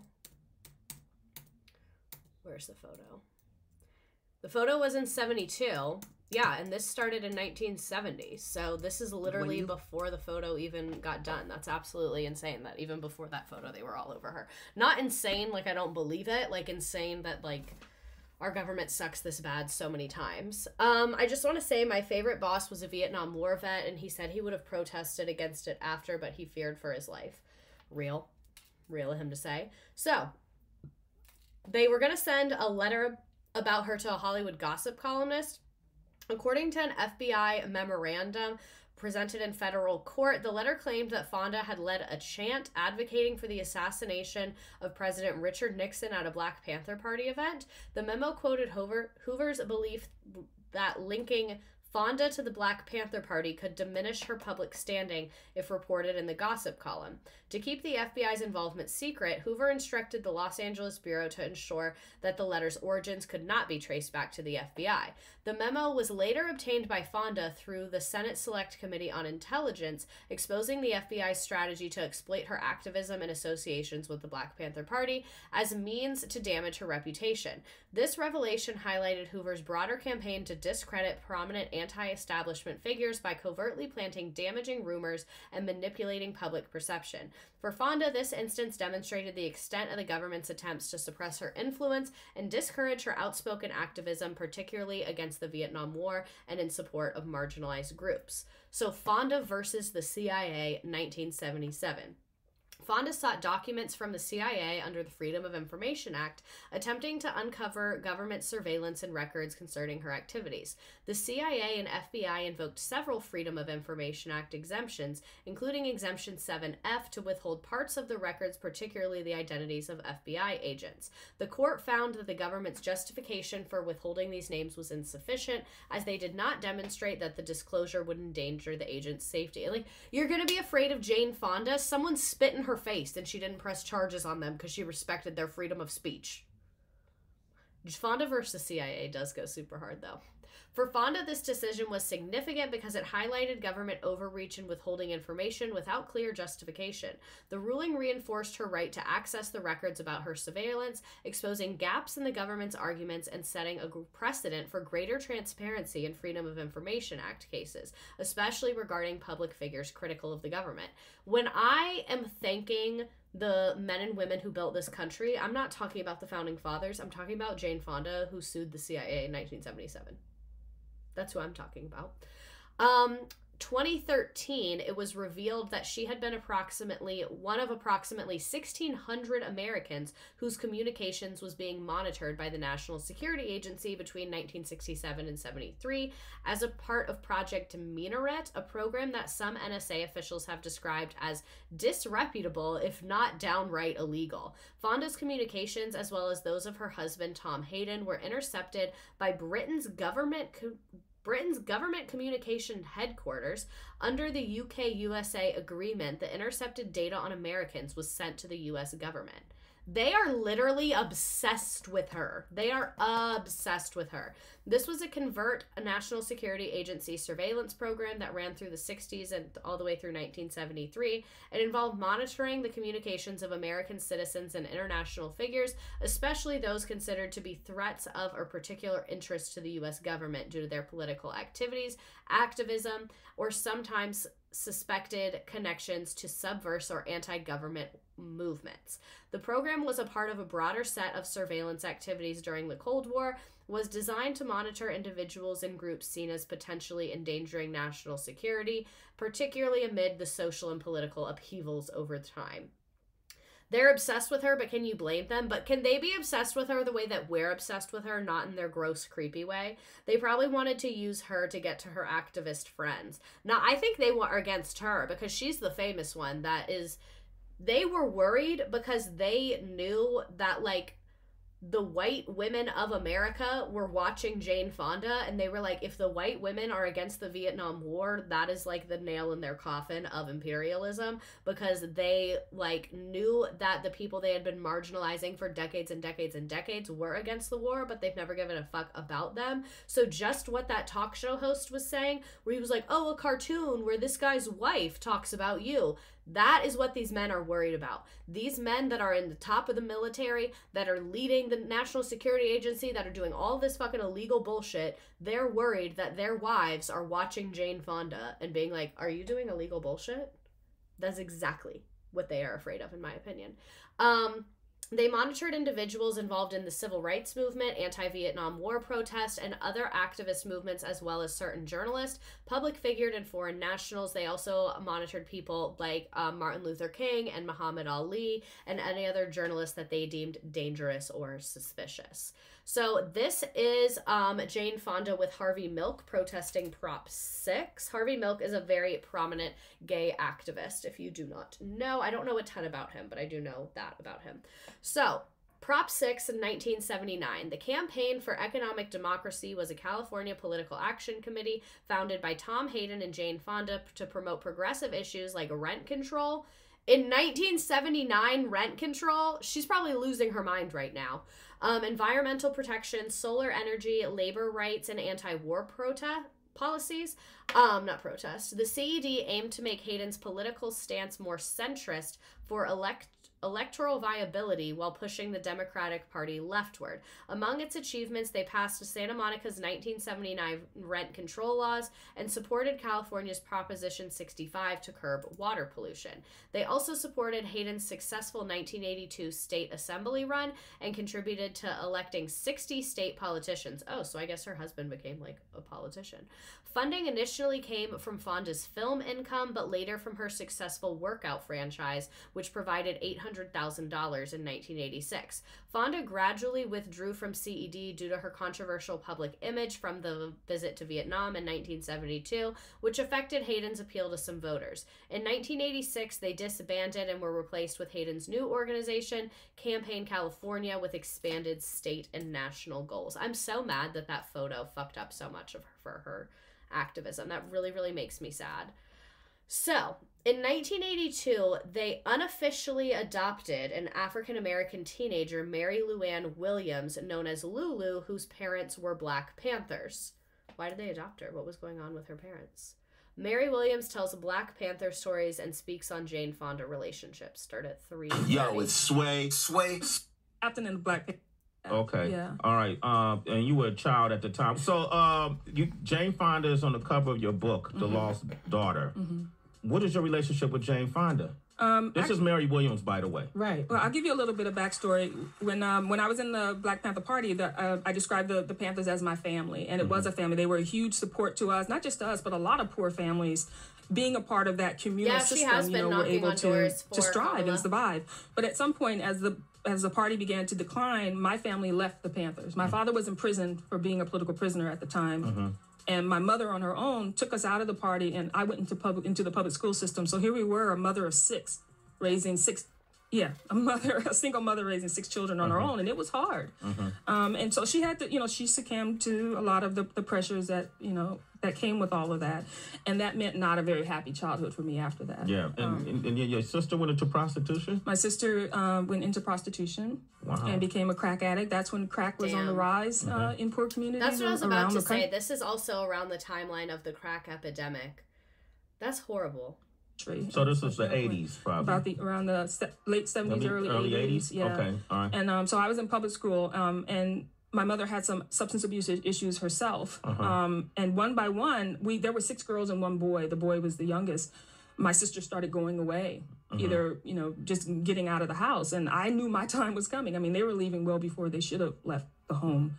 Um, and as things got dark for me, I was sexually assaulted as well. Wow. But my uncle, thank God for my uncle, is that he sent me when I was younger, a lot younger, to a children's camp that Jane Fonda ran. Mm-hmm. And, you know, she was a supporter of the Panthers. And she said, I'd like to have this camp with all kinds of kids in it. So let's get rich kids, poor kids, Panthers, whatever, just put them in there. So I went to that camp and I met her there and I met other people there. And that became like another family to me every summer. And then when that assault happened and I went back again, they saw a new person. Yeah. They described me as a, looked like a candle that was about to go out. And Mhm. She was like, What's going on with you? When I finally told her, she said, Well, I want you to come live with me. Let's get your grades up. You'll come and you'll you'll live with me. And I said, I'm All gonna right. have. I didn't think twice about it. Jane so. Fonda took you in. She sure did. The daughter Like the Hen- way Jane Fonda at this random summer camp saw a girl that was struggling and was like, "Live with me. Let's get your grades up." Cause now I'm about to cry. Henry Fonda, the daughter of Henry Fonda, the sister of Peter Fonda, the ex-wife of Ted, Ted Turner. Turner. Yeah, Ted Damn. Turner was my stepfather for ten years, and it's I still consider him my father. Wow, Ted Turner's your stepfather. He is. He definitely is. And so you write about all this in your book, I The write, Lost I write about it all in there. All in there. Yo, it's sw- That's crazy. So notable films during this time: Nine to, Nine to Five with Lily Tomlin and Dolly Parton, On a Golden Pond, The Doll Maker, Agnes of God, The Morning After. She's getting um a Old Gringo, Emmy Award, Academy Award nomination, and another Academy Award nomination.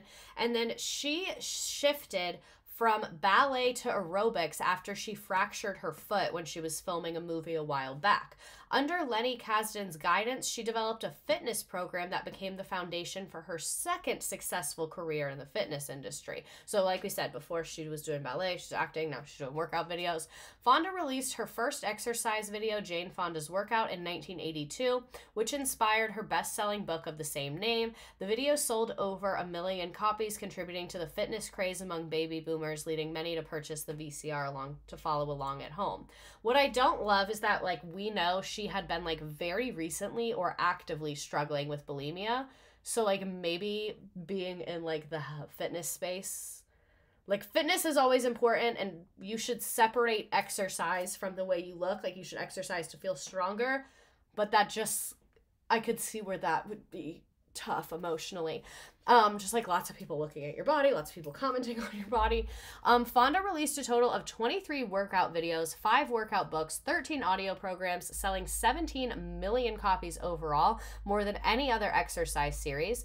After a 15 year break from that, she returned in 2010 with a fitness video aimed at older audiences. In addition to her fitness career, she entered a non exclusive agreement with Columbia Pictures to produce and star in projects under her own production company, initially named Jane Development Corporation, which she later renamed Fonda Films in 1985.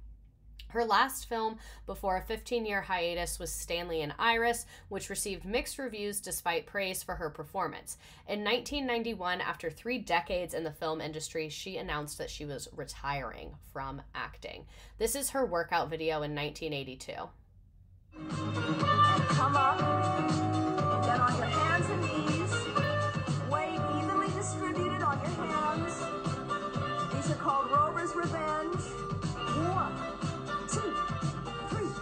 That's hard. I should start doing these workout videos. Isolate your leg. Bring it up straight to the side without moving the rest of your body. My grandmother said she had these videos and wore a pink set with a pink yoga mat. The 80s were a time. Jump scare for exercise videos from the 80s. Let me make sure we have our game. I just realized I hadn't checked that.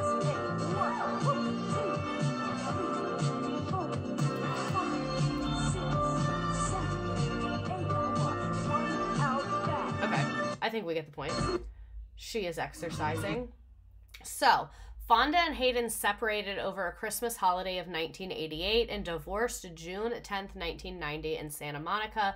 While in 1989, while estranged from Hayden, Fonda had a seven month relationship with soccer player Lorenzo Caccialanza, and she was also linked with actor Rob Lowe in that same year. As she should. Literally as she should. Absolutely no problems with that. Go for it, girl. Who gives a fuck? I love her for this. I absolutely love her for this. Jane's daughter Vanessa and stepdaughter Natalie Vadim and Jane at Vanessa's graduation from Brown University 1989. Keep in mind, she has been divorced from this Vadim guy for a long ass time at this point, And she's still hanging out with her ex stepdaughter. I think that shows a level of maturity that is highly impressive that I probably don't possess. Um, 1990 to early 2000s, she married her third husband. And I know earlier at the beginning we said like three is the limit, but Jane Fonda can actually do whatever she wants. So if it ends up being that she married more than three guys, I don't care. And I think that she was right for that. So she married Ted Turner. If you don't know who Ted Turner is, he got money. He founded CNN, and CNN owns a bunch of other stuff. They got married December 21st, 1991. Was that her birthday? Something else happened on December 21st in this. I remember seeing it. At a ranch near Capps, Florida, about 20 miles east of Tallahassee. Interesting marriage location. Okay, period. Um, they separated in 2000 and divorced in 2001. So they were married for about 10 years, like the um, unofficial adoptee said. This is her with Ted Turner. I wonder why she got divorced from Ted Turner. I'm going to Google it. Why did Jane Fonda divorce Ted Turner? Um. Oh, he was. He became a Christian. Like, he found Jesus, and she discovered that he was having an affair a month after they got married. And she said that he is a needy man who doesn't understand love and that she could no longer put someone else's needs first. Period. She just seems like she has standards and like boundaries. Um and uh, so the other guy she divorced, Tom Hayden, I wanted to look that up too. This is what the AI overview on Google says. Different careers. He was working in the government. She was an international celebrity, different schedules. Um, they were both very passionate about the war. It seems like their relationship was like the most legit, but it also said they called it quits in part because of his animosity over her workout empire, but also because neither of them were big on talking about their feelings. So it seems like they were more married as like, hey, we both hate this war. I think we could work really well together. And like they seemed like more of a partnership than a marriage. Interesting. Oop, nailed it before you said it. he has a yuck aura. So, this is, she talks about seven years of celibacy following her divorce.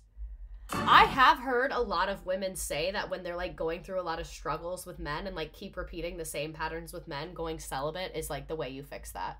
Animosity over her workout empire is crazy, literally. 60s, you can. I kind of want to talk more about her relationships, but also I don't want to center men, and they're like kind of the least interesting thing about her. It seems like she married some guys who were cool at first, and then they turned out not cool, so she divorced them. I'm sure there's more to the story, but Your 60s, you can fudge your 60s. 70, you're really part of the old old. So I want to know what what is this? Why? How come I feel so good? I'd started a new love affair along Well, with we my should say, hold it, hold it, hold it. We should say you, you and Ted Turner divorced. We divorced. I went seven years. I was celibate. Um, really, Jane Fonda. Yeah, and I thought, you know, it's done. It's over. And then um, Did you like it? I was fine. But that was important for me because for me, most of my life, I thought if I'm not with a man, I don't exist. Most of your life, you I had needed that. like to I, be I think she's right. Like I man. think So if you're dealing with that, you need to be alone for a long time. Fine. I was fine. I didn't think. But you're love- happier now with a man. Well, I'm, you know, Duh. I'm with somebody who's really different than me, who's someone I never could have been with before. You Oh, say he's not an alpha. that? You say he's not an alpha male.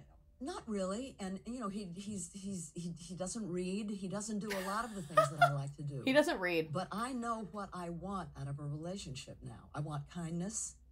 I want um, intimacy. I don't want hidden agendas. Um, and so I can let go of all those things that that isn't there because I know what I need to have be there. I think that that is a very good outlook, and I appreciate her for that. So from 2005 on, she was in, as we can see, she did go back to acting. Monster in Law, Georgia Rule, 33 Variations Altogether, Peace, Love, and Misunderstanding, The Newsroom. She also had a Tony nomination. She had two Emmy nominations. The Butler, she was Nancy Reagan. Um, Better Living Through Chemistry, This Is Where I Leave You. Youth, Golden Globe nomination. Fathers and Daughters. And yeah, she was really just doing the damn thing. Very talented actress. She um, then from 2007 to 2008 was the companion of widowed management consultant Lilden Giles, I guess. So she had a little boyfriend moment. We love that for her.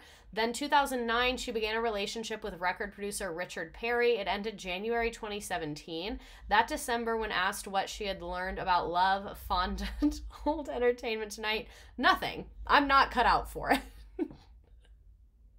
She's so real. I really just appreciate her being that real. And we can skip the video of them. We're not gonna we're not gonna center men tonight.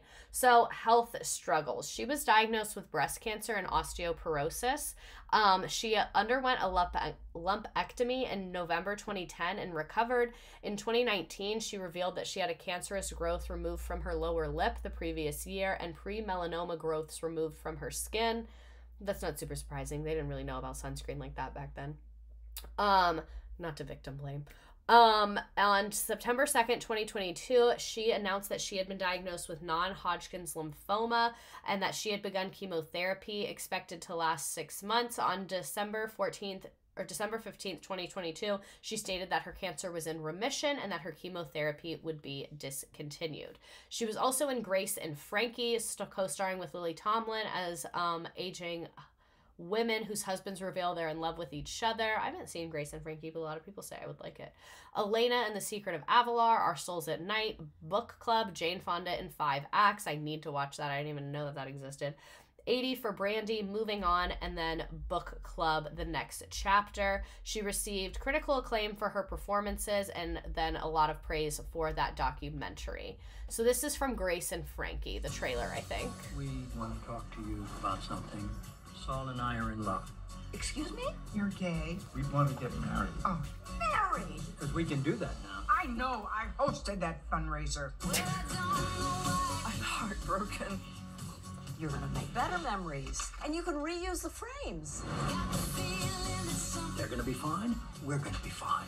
So Mom, we're gonna find you people to talk to. People who understand exactly what you're going through. There's a group for wives of husbands who've turned gay in their 70s. That's kind of I am young. My joints are supple. Yes, Robert is my law partner, but we are also homosexual law and bed partners with each other. Homosexual law and bed Wait, partners. this partner thing is really confusing, isn't it? Frankie, you're a complete disaster. You do realize I have a knife in my hand. I don't want to face my remaining years alone. I'm just like you, but with a better personality. Certainly bigger. Break down your emotions for me.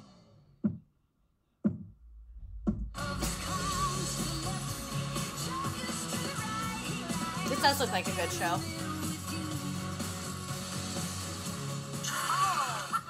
Now you can't eat until Monday. That looks cute. Maybe I will watch that. Next time I get sick, I'm going to watch that. That feels like a good sick watch show. So, use of the mugshot in current day. It was used as the poster image for her documentary with a giant billboard in Times Square, like we saw. In 2017, she began selling merchandise with her mugshot to benefit the Georgia campaign for adolescent power and potential. Oh, I just realized when she said I lived in Georgia for 10 years, that's when she was married to Ted Turner because he's famous in Atlanta and that's where CNN is based. That would make sense. This is the official trailer for her movie, Jane Fonda. I'm literally already about to Fonda's cry. daughter, which meant we looked like the American dream. But a lot of it was simply myth. When you were little Lady Jane Fonda, did you dream about being an actress? I was doing plays, making movies. I wanted to please Dad. Who would you like me to be? I never felt real. And I just thought, I've got to find who I really am. I just felt like I had to become a righteous activist. I wanted my life to have meaning. You've been taking your public by surprise, invading army camps and getting yourself arrested.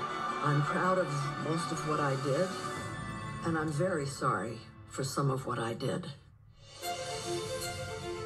I consider Jane Fonda one of the most courageous women of our time. She didn't look back. She didn't change her I'm voice. literally about to cry. I pledge to resist!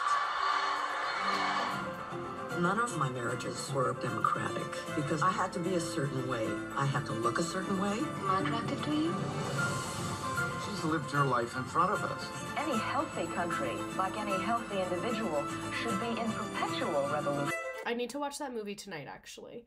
Um, in a 2018 interview, Jane Fonda stated that up to age 62, she felt she always had to seek validation from men in order to prove herself that she had value as a person, something she attributes to her mother's early death, leaving her without a female role model. As a consequence, she attached herself to alpha males, some of whom requ- reinforced her feelings of inadequacy despite her professional success. Fonda said that she came to see that attitude as failing the men in her life. Some men have a hard time that as a failing of the men in her life. Some men have a hard time realizing that the woman they're married to is strong and smart and they have to diminish that because it makes them feel diminished. Too bad we have defined masculinity in a way that's so easily, in such a way that's so easily shamed. I'm not dating anymore. I did up until a couple years ago. I'm 80. I've closed up shop down there. Good for her. So, activism at this point, a little out of order because we go back through time because I think it's better to group it like this. So, like we said, very much a feminist icon. Her and Barbra Streisand helped create the Hollywood Women's Political Committee to influence political causes in Los Angeles. Uh, the Mondale Ferraro defeat ticket was usually defeated by was ultimately defeated by incumbent President Ronald Reagan. Afterward, the HWPC pivoted to address new left political goals.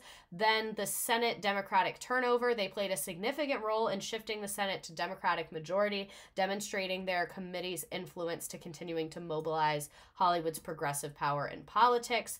Year of the Woman, they helped elect a number record of women or a record number of women to electoral positions in 1992. Um, continued activism despite setbacks more in the 90s and then they disillusioned in 1977 you got to know when to break it up. You know what i mean? It's kind of important. Also if you didn't already know we were going to be here for tonight 'cause this is literally so much to talk about in her life probably could have made this two parts. Um anyway so it was widely recognized as the single most powerful entertainment group in politics. Um, 2001, the establishment of the Jane Fonda Center for Adolescent Reproductive Health. This is at Emory University in Atlanta. The center's goal was to prevent teenage pregnancy through educational programs and outreach.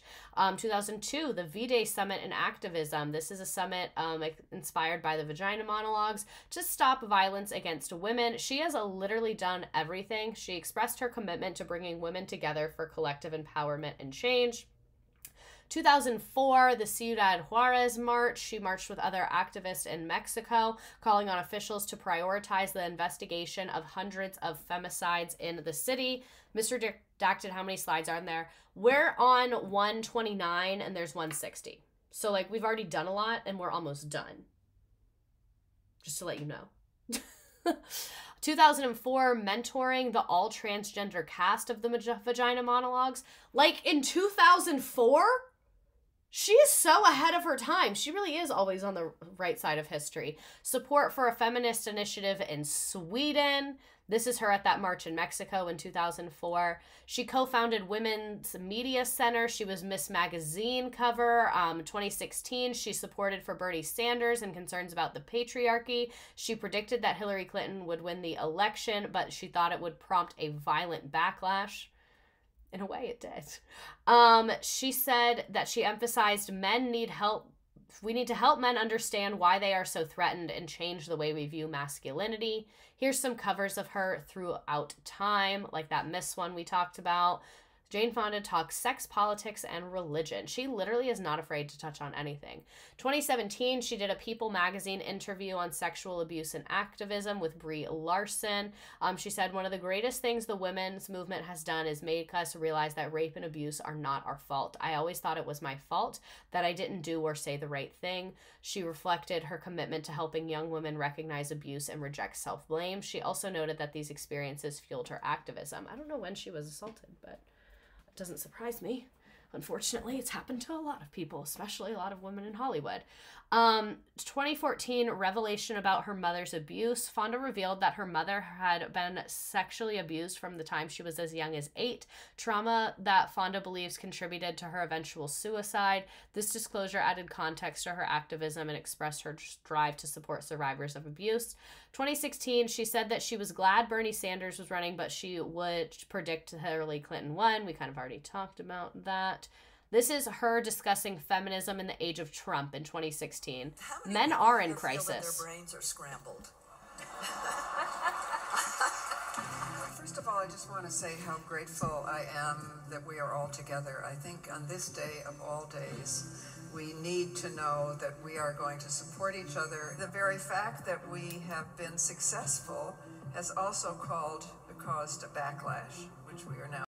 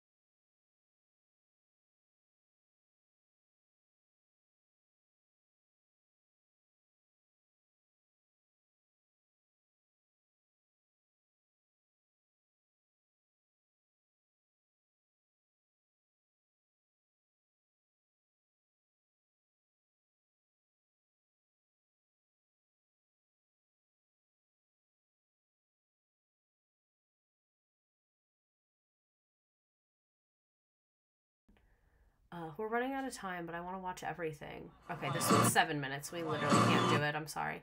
So she has had a lot of support of the LGBTQ LGBTQIA community. White night riots in San Francisco following the assassination of Harvey Milk, California's first openly gay elected official, and subsequent protest known as the White Night Riots. She voiced her support for the community, and when asked about discrimination, we kind of watched that clip. She said it was psychological, cultural, economic, political. So super early on, very very public support of the gay community. Um, over the decades, she continued to speak out about this, using her platform to advocate for equality. August 2021 fundraiser for the Los Angeles LGBT Center amid challenges posed by the COVID 19 pandemic. She joined the cast of Grace and Frankie along with other um, supporters in a virtual fundraiser. Literally, she may she might be in her 80s, but she can work Zoom. So she wants you. Jane Fonda wants you to support LGBTQ youth. Sorry, I keep Since hiccuping. 2022, more than 400 bills have been introduced across the country attacking the rights of LGBTQ plus youth. What you may not know is that we've defeated the majority of them. That's because I think she's defeated the majority of them. LGBTQ plus youth are speaking out and fighting back in record numbers. Organizations like It Gets Better are working directly with the LGBTQ plus kids to empower and uplift them, to connect them to the support systems and resources that they need to speak out and fight for the causes they're passionate about, not just LGBTQ plus and civil rights, but for reproductive rights, mental health, She literally is just so always right all the time. So, during the Alcatraz occupation, oh my god, of course she was involved with this. A group of young Native American activists occupied Alcatraz Island in San Francisco. That is also one of my favorite streams that was a while ago. Um, in the name of Native tribes and protesting the poor treatment and limited resources on the reservations, she visited the protesters on Alcatraz, demonstrating her solidarity with the movement, and her support highlighted the occupation's significance and she brought visibility to their demands of self determination, land rights, and access to resources. Um, the Fort Lawton occupation, we kind of already talked about this as well, where she went on the. Um, military base and was working with the native protests there. Um, 2016, the Dakota Access Pipeline, literally like every single major social justice issue that she was alive for, she was talking about. Literally all of them. She joined thousands of protesters in Standing Rock, North Dakota during a months long demonstration against the pipeline. Um, it was set to be built through tribal lands without consent of the tribe, the um, Standing Rock Sioux tribe, raising concerns about the potential water contamination and violation of Indigenous treaty rights. Fonda spent Thanksgiving with the Standing Rock protesters, underscoring her solidarity. She says, It's been 45 years since the occupation of Alcatraz. At Standing Rock, we are witnessing the flowering of the seeds that were planted there. And again, it is the youth who seem to be leading the way. She literally does such a good job of like, using her voice to amplify others' voices and not putting the attention on herself. Um, she criticized a lot of Trump's policies. She said the U.S. has agreed to treaties that require them to get the consent of the people who are affected, the indigenous people who live there. I also really like to see how her language has evolved because if we remember in the 1970s, she was using the word Indian, which now is super outdated. And then in 2017, you can tell like she's always learning and always listening to the people that are leading the movement. And I think that's what's really admirable about her because I think a lot of activists are not they don't have longevity because they're just talking about the same thing again and again and again. But the nature of activism is that like she said it's evolutionary and it has to change over time to fit the needs. And i think that she's like a really incredible display of that. Um this is her honoring Native American Heritage Month. We'll just watch a couple more. Welcome, minutes. firefighters. What a whirlwind week, huh? There's a lot happening out there and Fire drill. Fridays. So let's start with the good news. As we all heard, Democrats clinch control of the Senate, staving off the red wave that wasn't. Retaining the ability to confirm federal judges. That's important, and preserving a guardrail to the far right agenda. She's so informed. right? Last week, we discussed the midterms with Nebraska Democratic Party Chair Jane Kleeb. We talked about how this Okay. election We get it. This is a super, super, super long stream or super long YouTube video, but she's giving political updates. She's very in the know. Um, and then I think later she has some Native women cold, on. and they deserve justice and we don't need any more of that kind of thing going on Kwana isn't the only guest. amazon in alaska obviously in So this is what I mean. She's like um, using her voice to bring in other women who are the more directly is the man affected. camps, which are placed right outside indigenous communities, and that's why um, a lot of people are really being affected by you know the fossil fuel industry but not just because of the pollution but because of the man camps. And it puts more native women at risk for becoming murdered or missing So, if you don't know, I do want to talk a little bit about this because Jane Fonda is amplifying her voice, so we're going to talk about it as well.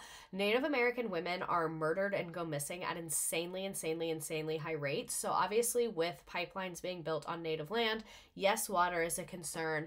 Yes, pollution is a concern, but it's also a concern, like she's saying, when they're building it to have these very large construction crews and then the numbers of men that are working on it right directly next to large groups of Native women when Native women are already at such a high risk. And we already know that when an area is very predominantly male, sexual assault is very high, the risk of women being murdered is very high. So there's basically saying like shipping thousands of men to live right next to this group that's already really vulnerable and is already dealing with this is like a whole other aspect. And I think this is a great example of like why it's so important to have women included in any and all movements because like yes, it's a movement about climate, but it also deeply affects violence against women as well.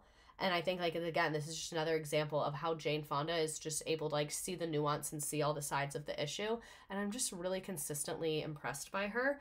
Um, December 2002, she went to the West Bank. She visited Israel and the West Bank as a part of um, a group focused on ending violence against women. She joined a protest with the group The Women in Black, demonstrating against Israel's occupation in the West Bank and Gaza Strip outside the residence of the Israel Prime Minister. She also met with Jewish and Arab doctors and patients at a Jerusalem hospital, um, further demonstrating her commitment to peace and humanitarian crisis. She traveled to Ramallah, I think I'm saying that incorrectly, where she visited a physical rehabilitation center and a Palestinian refugee camp in 2002. 2002.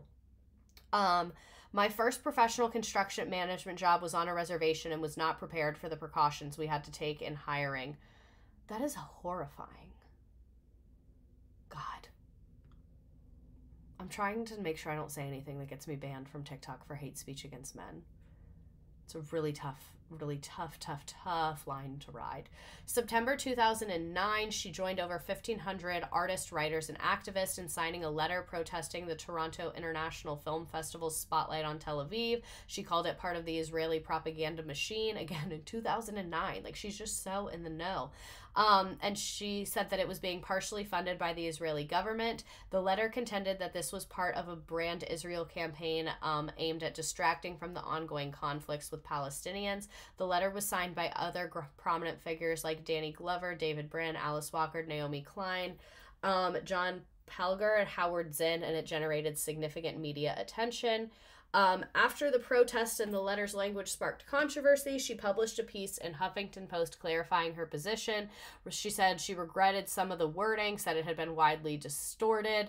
Um, and Fonda emphasized that it was not to demonize Israeli films or filmmakers. She instead argued that the real support of Israel's image should focus on promoting the nation's peace efforts rather than a public relations campaign. Fonda called for an end to the Gaza blockade. So people were like, oh, Jane Fonda is being mean to the artist. I really don't think she is. She's being pretty direct, if you ask me.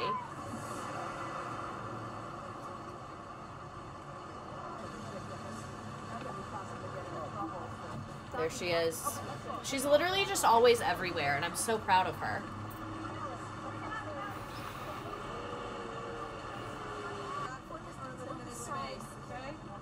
I think we get the point. It's kind of grainy Associated Press footage. She was also opposed to the Iraq War. She early on voiced opposition to the war, stating that it would fuel anti American sentiment worldwide and lead to increased terrorist attacks. It's almost like she's seen a thing or two.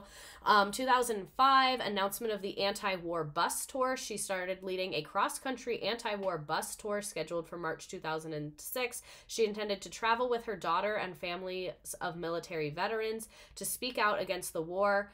Um, the Ultimately, they canceled it over concerns that the high profile presence might overshadow Cindy Sheehan, another prominent anti war activist and Gold Star mother whose protest outside President Bush's Texas ranch had gained attention. Literally, so then when she felt like, oh, instead of being helpful, this is actually taking away, she canceled it.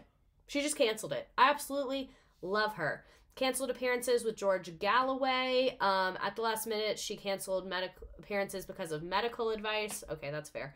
Anti war rally in 2007. She said silence is no longer an option. She's speaking out against the Iraq war.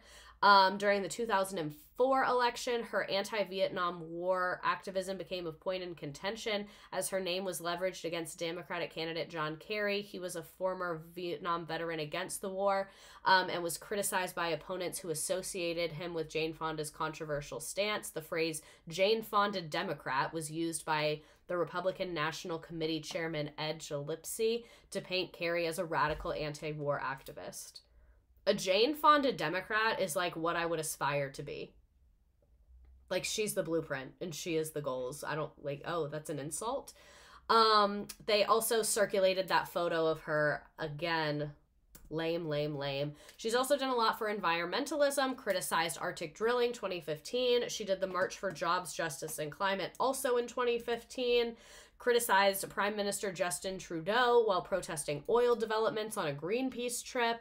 Fire Drill Fridays and Global Environmental Support. So, like we talked about when the, we watched in part of that video, she has Fire Drill Fridays, a series of weekly protests in Washington, D.C., designed to pressure politicians to take urgent action on climate change. If you'd call if you called me a Jane Fonda Democrat, I'd say you really think so. Um, weekly arrest for the climate protest. She was arrested outside the U.S. Capitol on three consecutive Fridays on October 11th, 15th, and 25th. Um, also, actor Ted Danson was arrested. Her fourth consecutive Friday of protest, she was joined by actress Catherine Keener and Rosanna Arquette. In total, her repeated number of arrests underscored her commitment to direct action and brought increased attention um, to the urgency of the climate crisis. She published an op ed in the New York Times expand, explaining her stance on climate action and the importance of civil disobedience and raising awareness. She expressed that the climate crisis required radical shifts and more significant push from political leaders, which she felt obligated to help through her actions. Her getting arrested four times at her Fire Drill Friday protest is absolutely hilarious to me. She's literally an icon. Look at her getting arrested. You are an 81 year old woman who still has a phenomenally successful career in, uh, in entertainment and television. You're as active as anybody could be uh, in the environmental movement. Is there a message for older I now identify today? as a When Jane Fonda older, Democrat. What have you got to lose? You're not in the marketplace for some guy who's scared of a strong woman. So you can rise to yourself and become who you are meant to be, and you can be brave. I mean, there are older people with gray hair out there every Friday that get arrested with me that are just so great. And some of them are nuns, and some of them are rabbis, and some get of them are arrested with me? Who've come from different parts of the United States, and they're old, and it's just beautiful. And is I love more? her. Do you think there's more acceptance? Women, I'm literally about to cry. Women like this make me not afraid to age. Like, I love the saying that, like, aging is a privilege and wrinkles are a privilege, and, like, you shouldn't be afraid of aging because not everyone gets to age. And Jane Fonda, I'm literally crying. Jane Fonda is the definition of, like, you got put on earth and she fucking used her time. She was like, I'm on earth and I'm gonna do everything I can while I'm on earth. And it makes it, like, she shows me life is such a long thing. You can do so much in your life. I think it's really easy to feel like life is super short and like you can't do anything and like life is just so many missed opportunities. But like she has literally done everything. It's incredible. of that today than there used to be. There's always been. Older people have always been. Older women have always tended to be the bravest. I'm literally about to cry. I love her so You much. You are- Um, her advice about getting arrested. Uh, this is nine minutes, and I don't have time for another late night host. More climate action. Speaker at 350.org's Food and Water event. March to End Fossil Fuels. The Jane Fonda Climate PAC. This is a political action committee dedicated to removing politicians who support the fossil fuel industry. She seems so fulfilled and still striving for better. I love her. Welcome back. Uh, it is so great to see you. Thank this you so isn't much for being inspiring. on the show. This is why I was like pre-election Jane Fonda, election night Glee. She's who people think RBG was. That's funny. Uh, every time you're here, we always have a good time. I want to talk to you about everything, but first, I want to talk to you about you. you you're an unbelievable actor. You're an unbelievable activist, uh, and then you changed the entire game with the Jane Fonda workout. Oh yeah, yeah. Yeah, that came out forty. I think the workout's like the least interesting 40 thing. Years ago, did you have any idea that it was going to be as Yeah. big? Oh, absolutely. It was totally strategic. The timing of it, not. I took a class with a woman, a talented woman named Leni Cazden, and it became a blockbuster, and I did not expect it. The whole thing. You know, I got all these musicians to give me songs because it came out first as a record, and of course they all agreed to it because they didn't. They didn't think it was going to be anything, and they didn't even ask for a you know percentage or anything like that. Yeah, they just well, I have this is the this is the workout. I don't really care about the workout stuff. Um, There's so much more back- interesting stuff that she's done. Um, Jane Fonda on her climate activism and message for young we voters. have to get as many people elected, not just to the top. She has so many side quests. But Congress, Senate, state legislators. Oh my God, me and her have the same bug the way down things. Ballot. People who are brave and who will not support corporations that are killing us. And If the young people stay home, we're going to lose.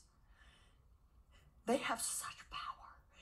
So show us your power. Vote and then fight. She looks incredible. In many ways, it feels like you're choosing the path of most resistance. Finding local candidates, going out and talking to them, raising money for them. so fun. It's a lot of work. It's so much fun.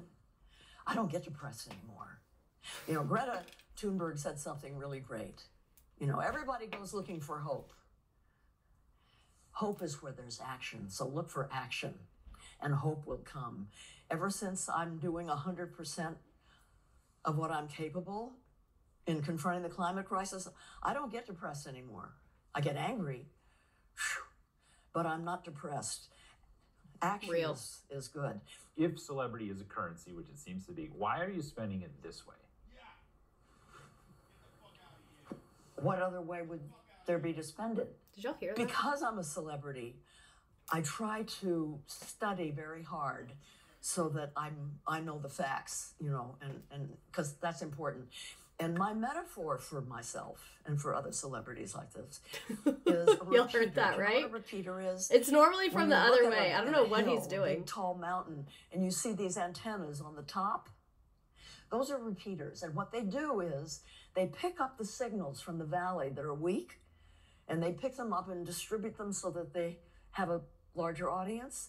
That's what celebrities do, like me when I'm doing the work I'm doing. I'm picking up the signals from the people who live in Wilmington and the Central Valley and Kern County and are su- really suffering, and the animals that can't speak, and trying to lift them up and send them out to a broader audience. We're repeaters.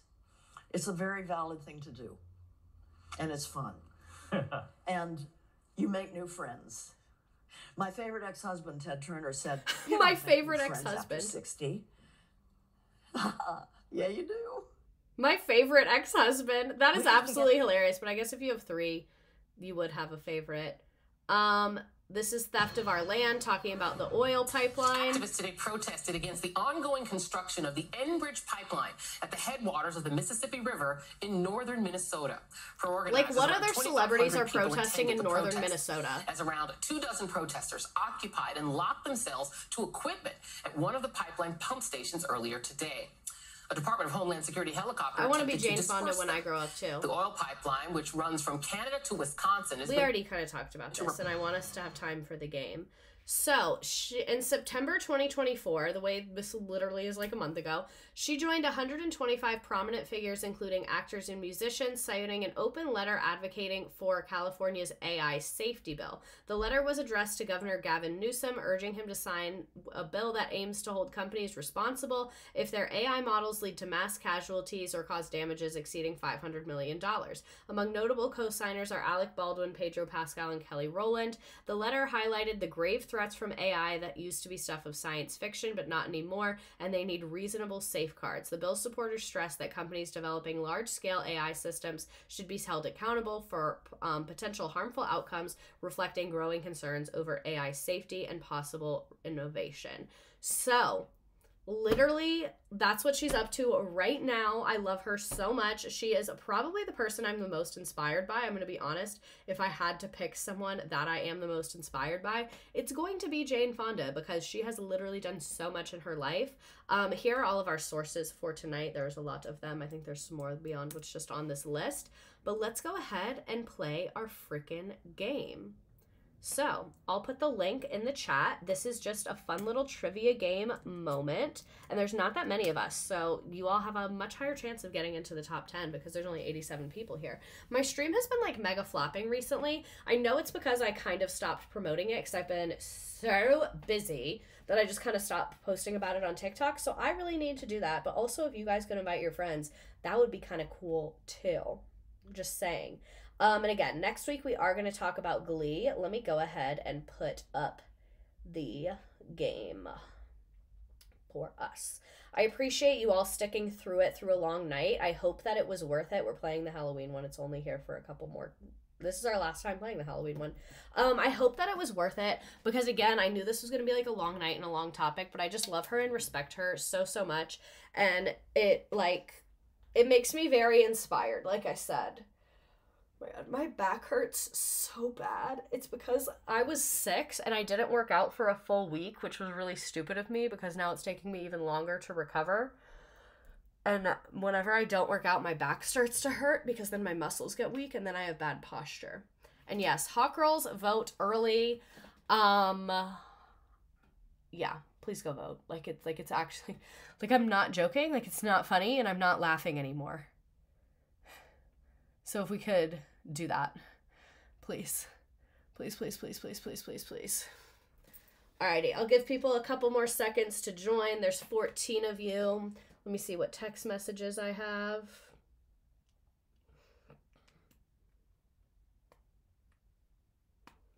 It's people talking about phone cases. It's really critical. Did you guys see all the other creators I was with this most previous weekend?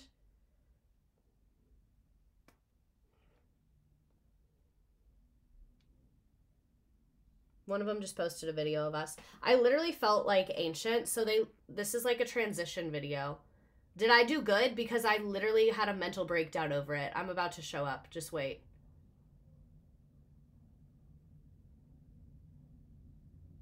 Maybe I'm not about to show up. Okay, I'm after her.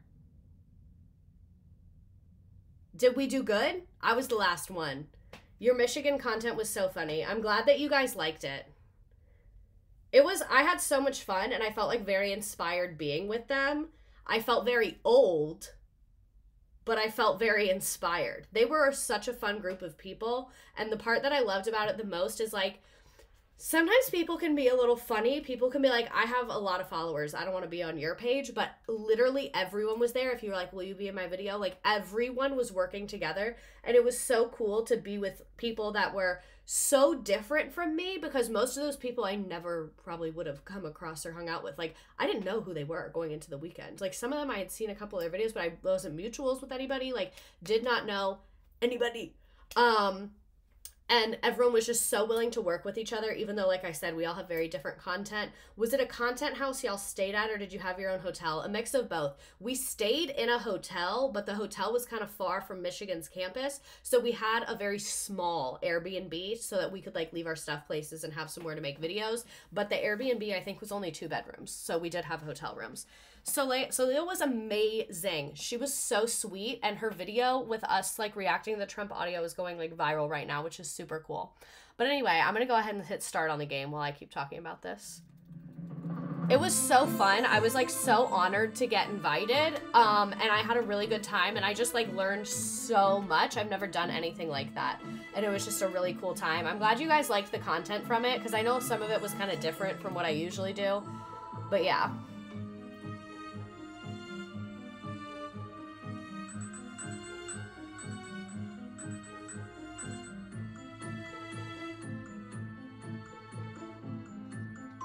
Were there any other teachers there? No. So that was the point is like they wanted to gather people that were all super different from each other because I see their logic. Because if you have a bunch of TikTok teachers, we probably have a lot of the same followers. And the whole point was to get maximum reach to get young people engaged in politics. So they picked people that are all very different from each other so that like our people could see each other. Like it was just the way it was gone about strategically, logistically, friendlily. It was great all across the board. I had such a positive experience, um, and I really do felt like we got some shit done. Like we talked to a lot of young people. We were at the tailgate for a really long time, um, and yeah, I really, and I like. I this sounds corny, but it truly felt like a civic duty to go like it truly felt like a civic duty to go. And like yeah there's like the contracts of how many videos you need to make but i was like i don't give a fuck about that. I'm just gonna do like as much as i can. Like anything i can do in the last week before the election that's what i'm doing. Like if i feel like i can do something to help i'm gonna do it. So that's kind of where my headspace was with going. Even though i hate airplanes i got on an airplane. And people in the midwest are so nice. Like the uber drivers the tsa like everyone in the Midwest is incredible. Too cold, so not moving up to Michigan, but great people. Y'all are doing good in the game. I'm not even paying attention to you at all. My Party in the USA jeans did eat. They are kind of uncomfortable, but it was so worth it. And it was a long day to be wearing uncomfortable jeans, but like literally no regrets because I knew I was like, these jeans eat so hard. I have to wear them.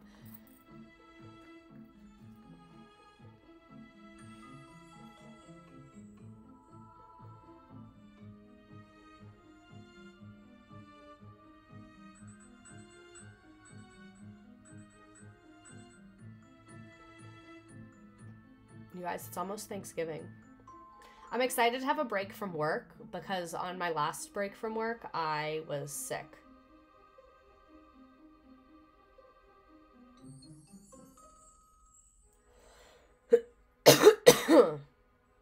oh. I'm not sick, but I don't think my lungs got the memo on that.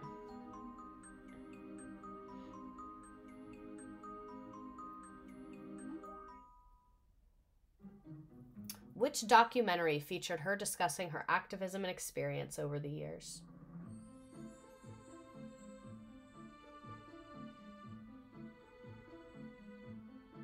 Uh, I hate when I see teachers on social media talking about breaking up fights. That's terrible. We don't get paid enough for that. Make the administrators do it. And that's literally the policy in my district, so no one can get mad at me for that.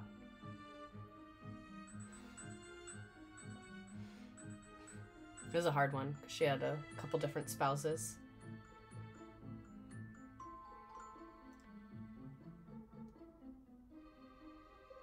Roger. Her calling Ted Turner her favorite ex-husband is still hilarious to me.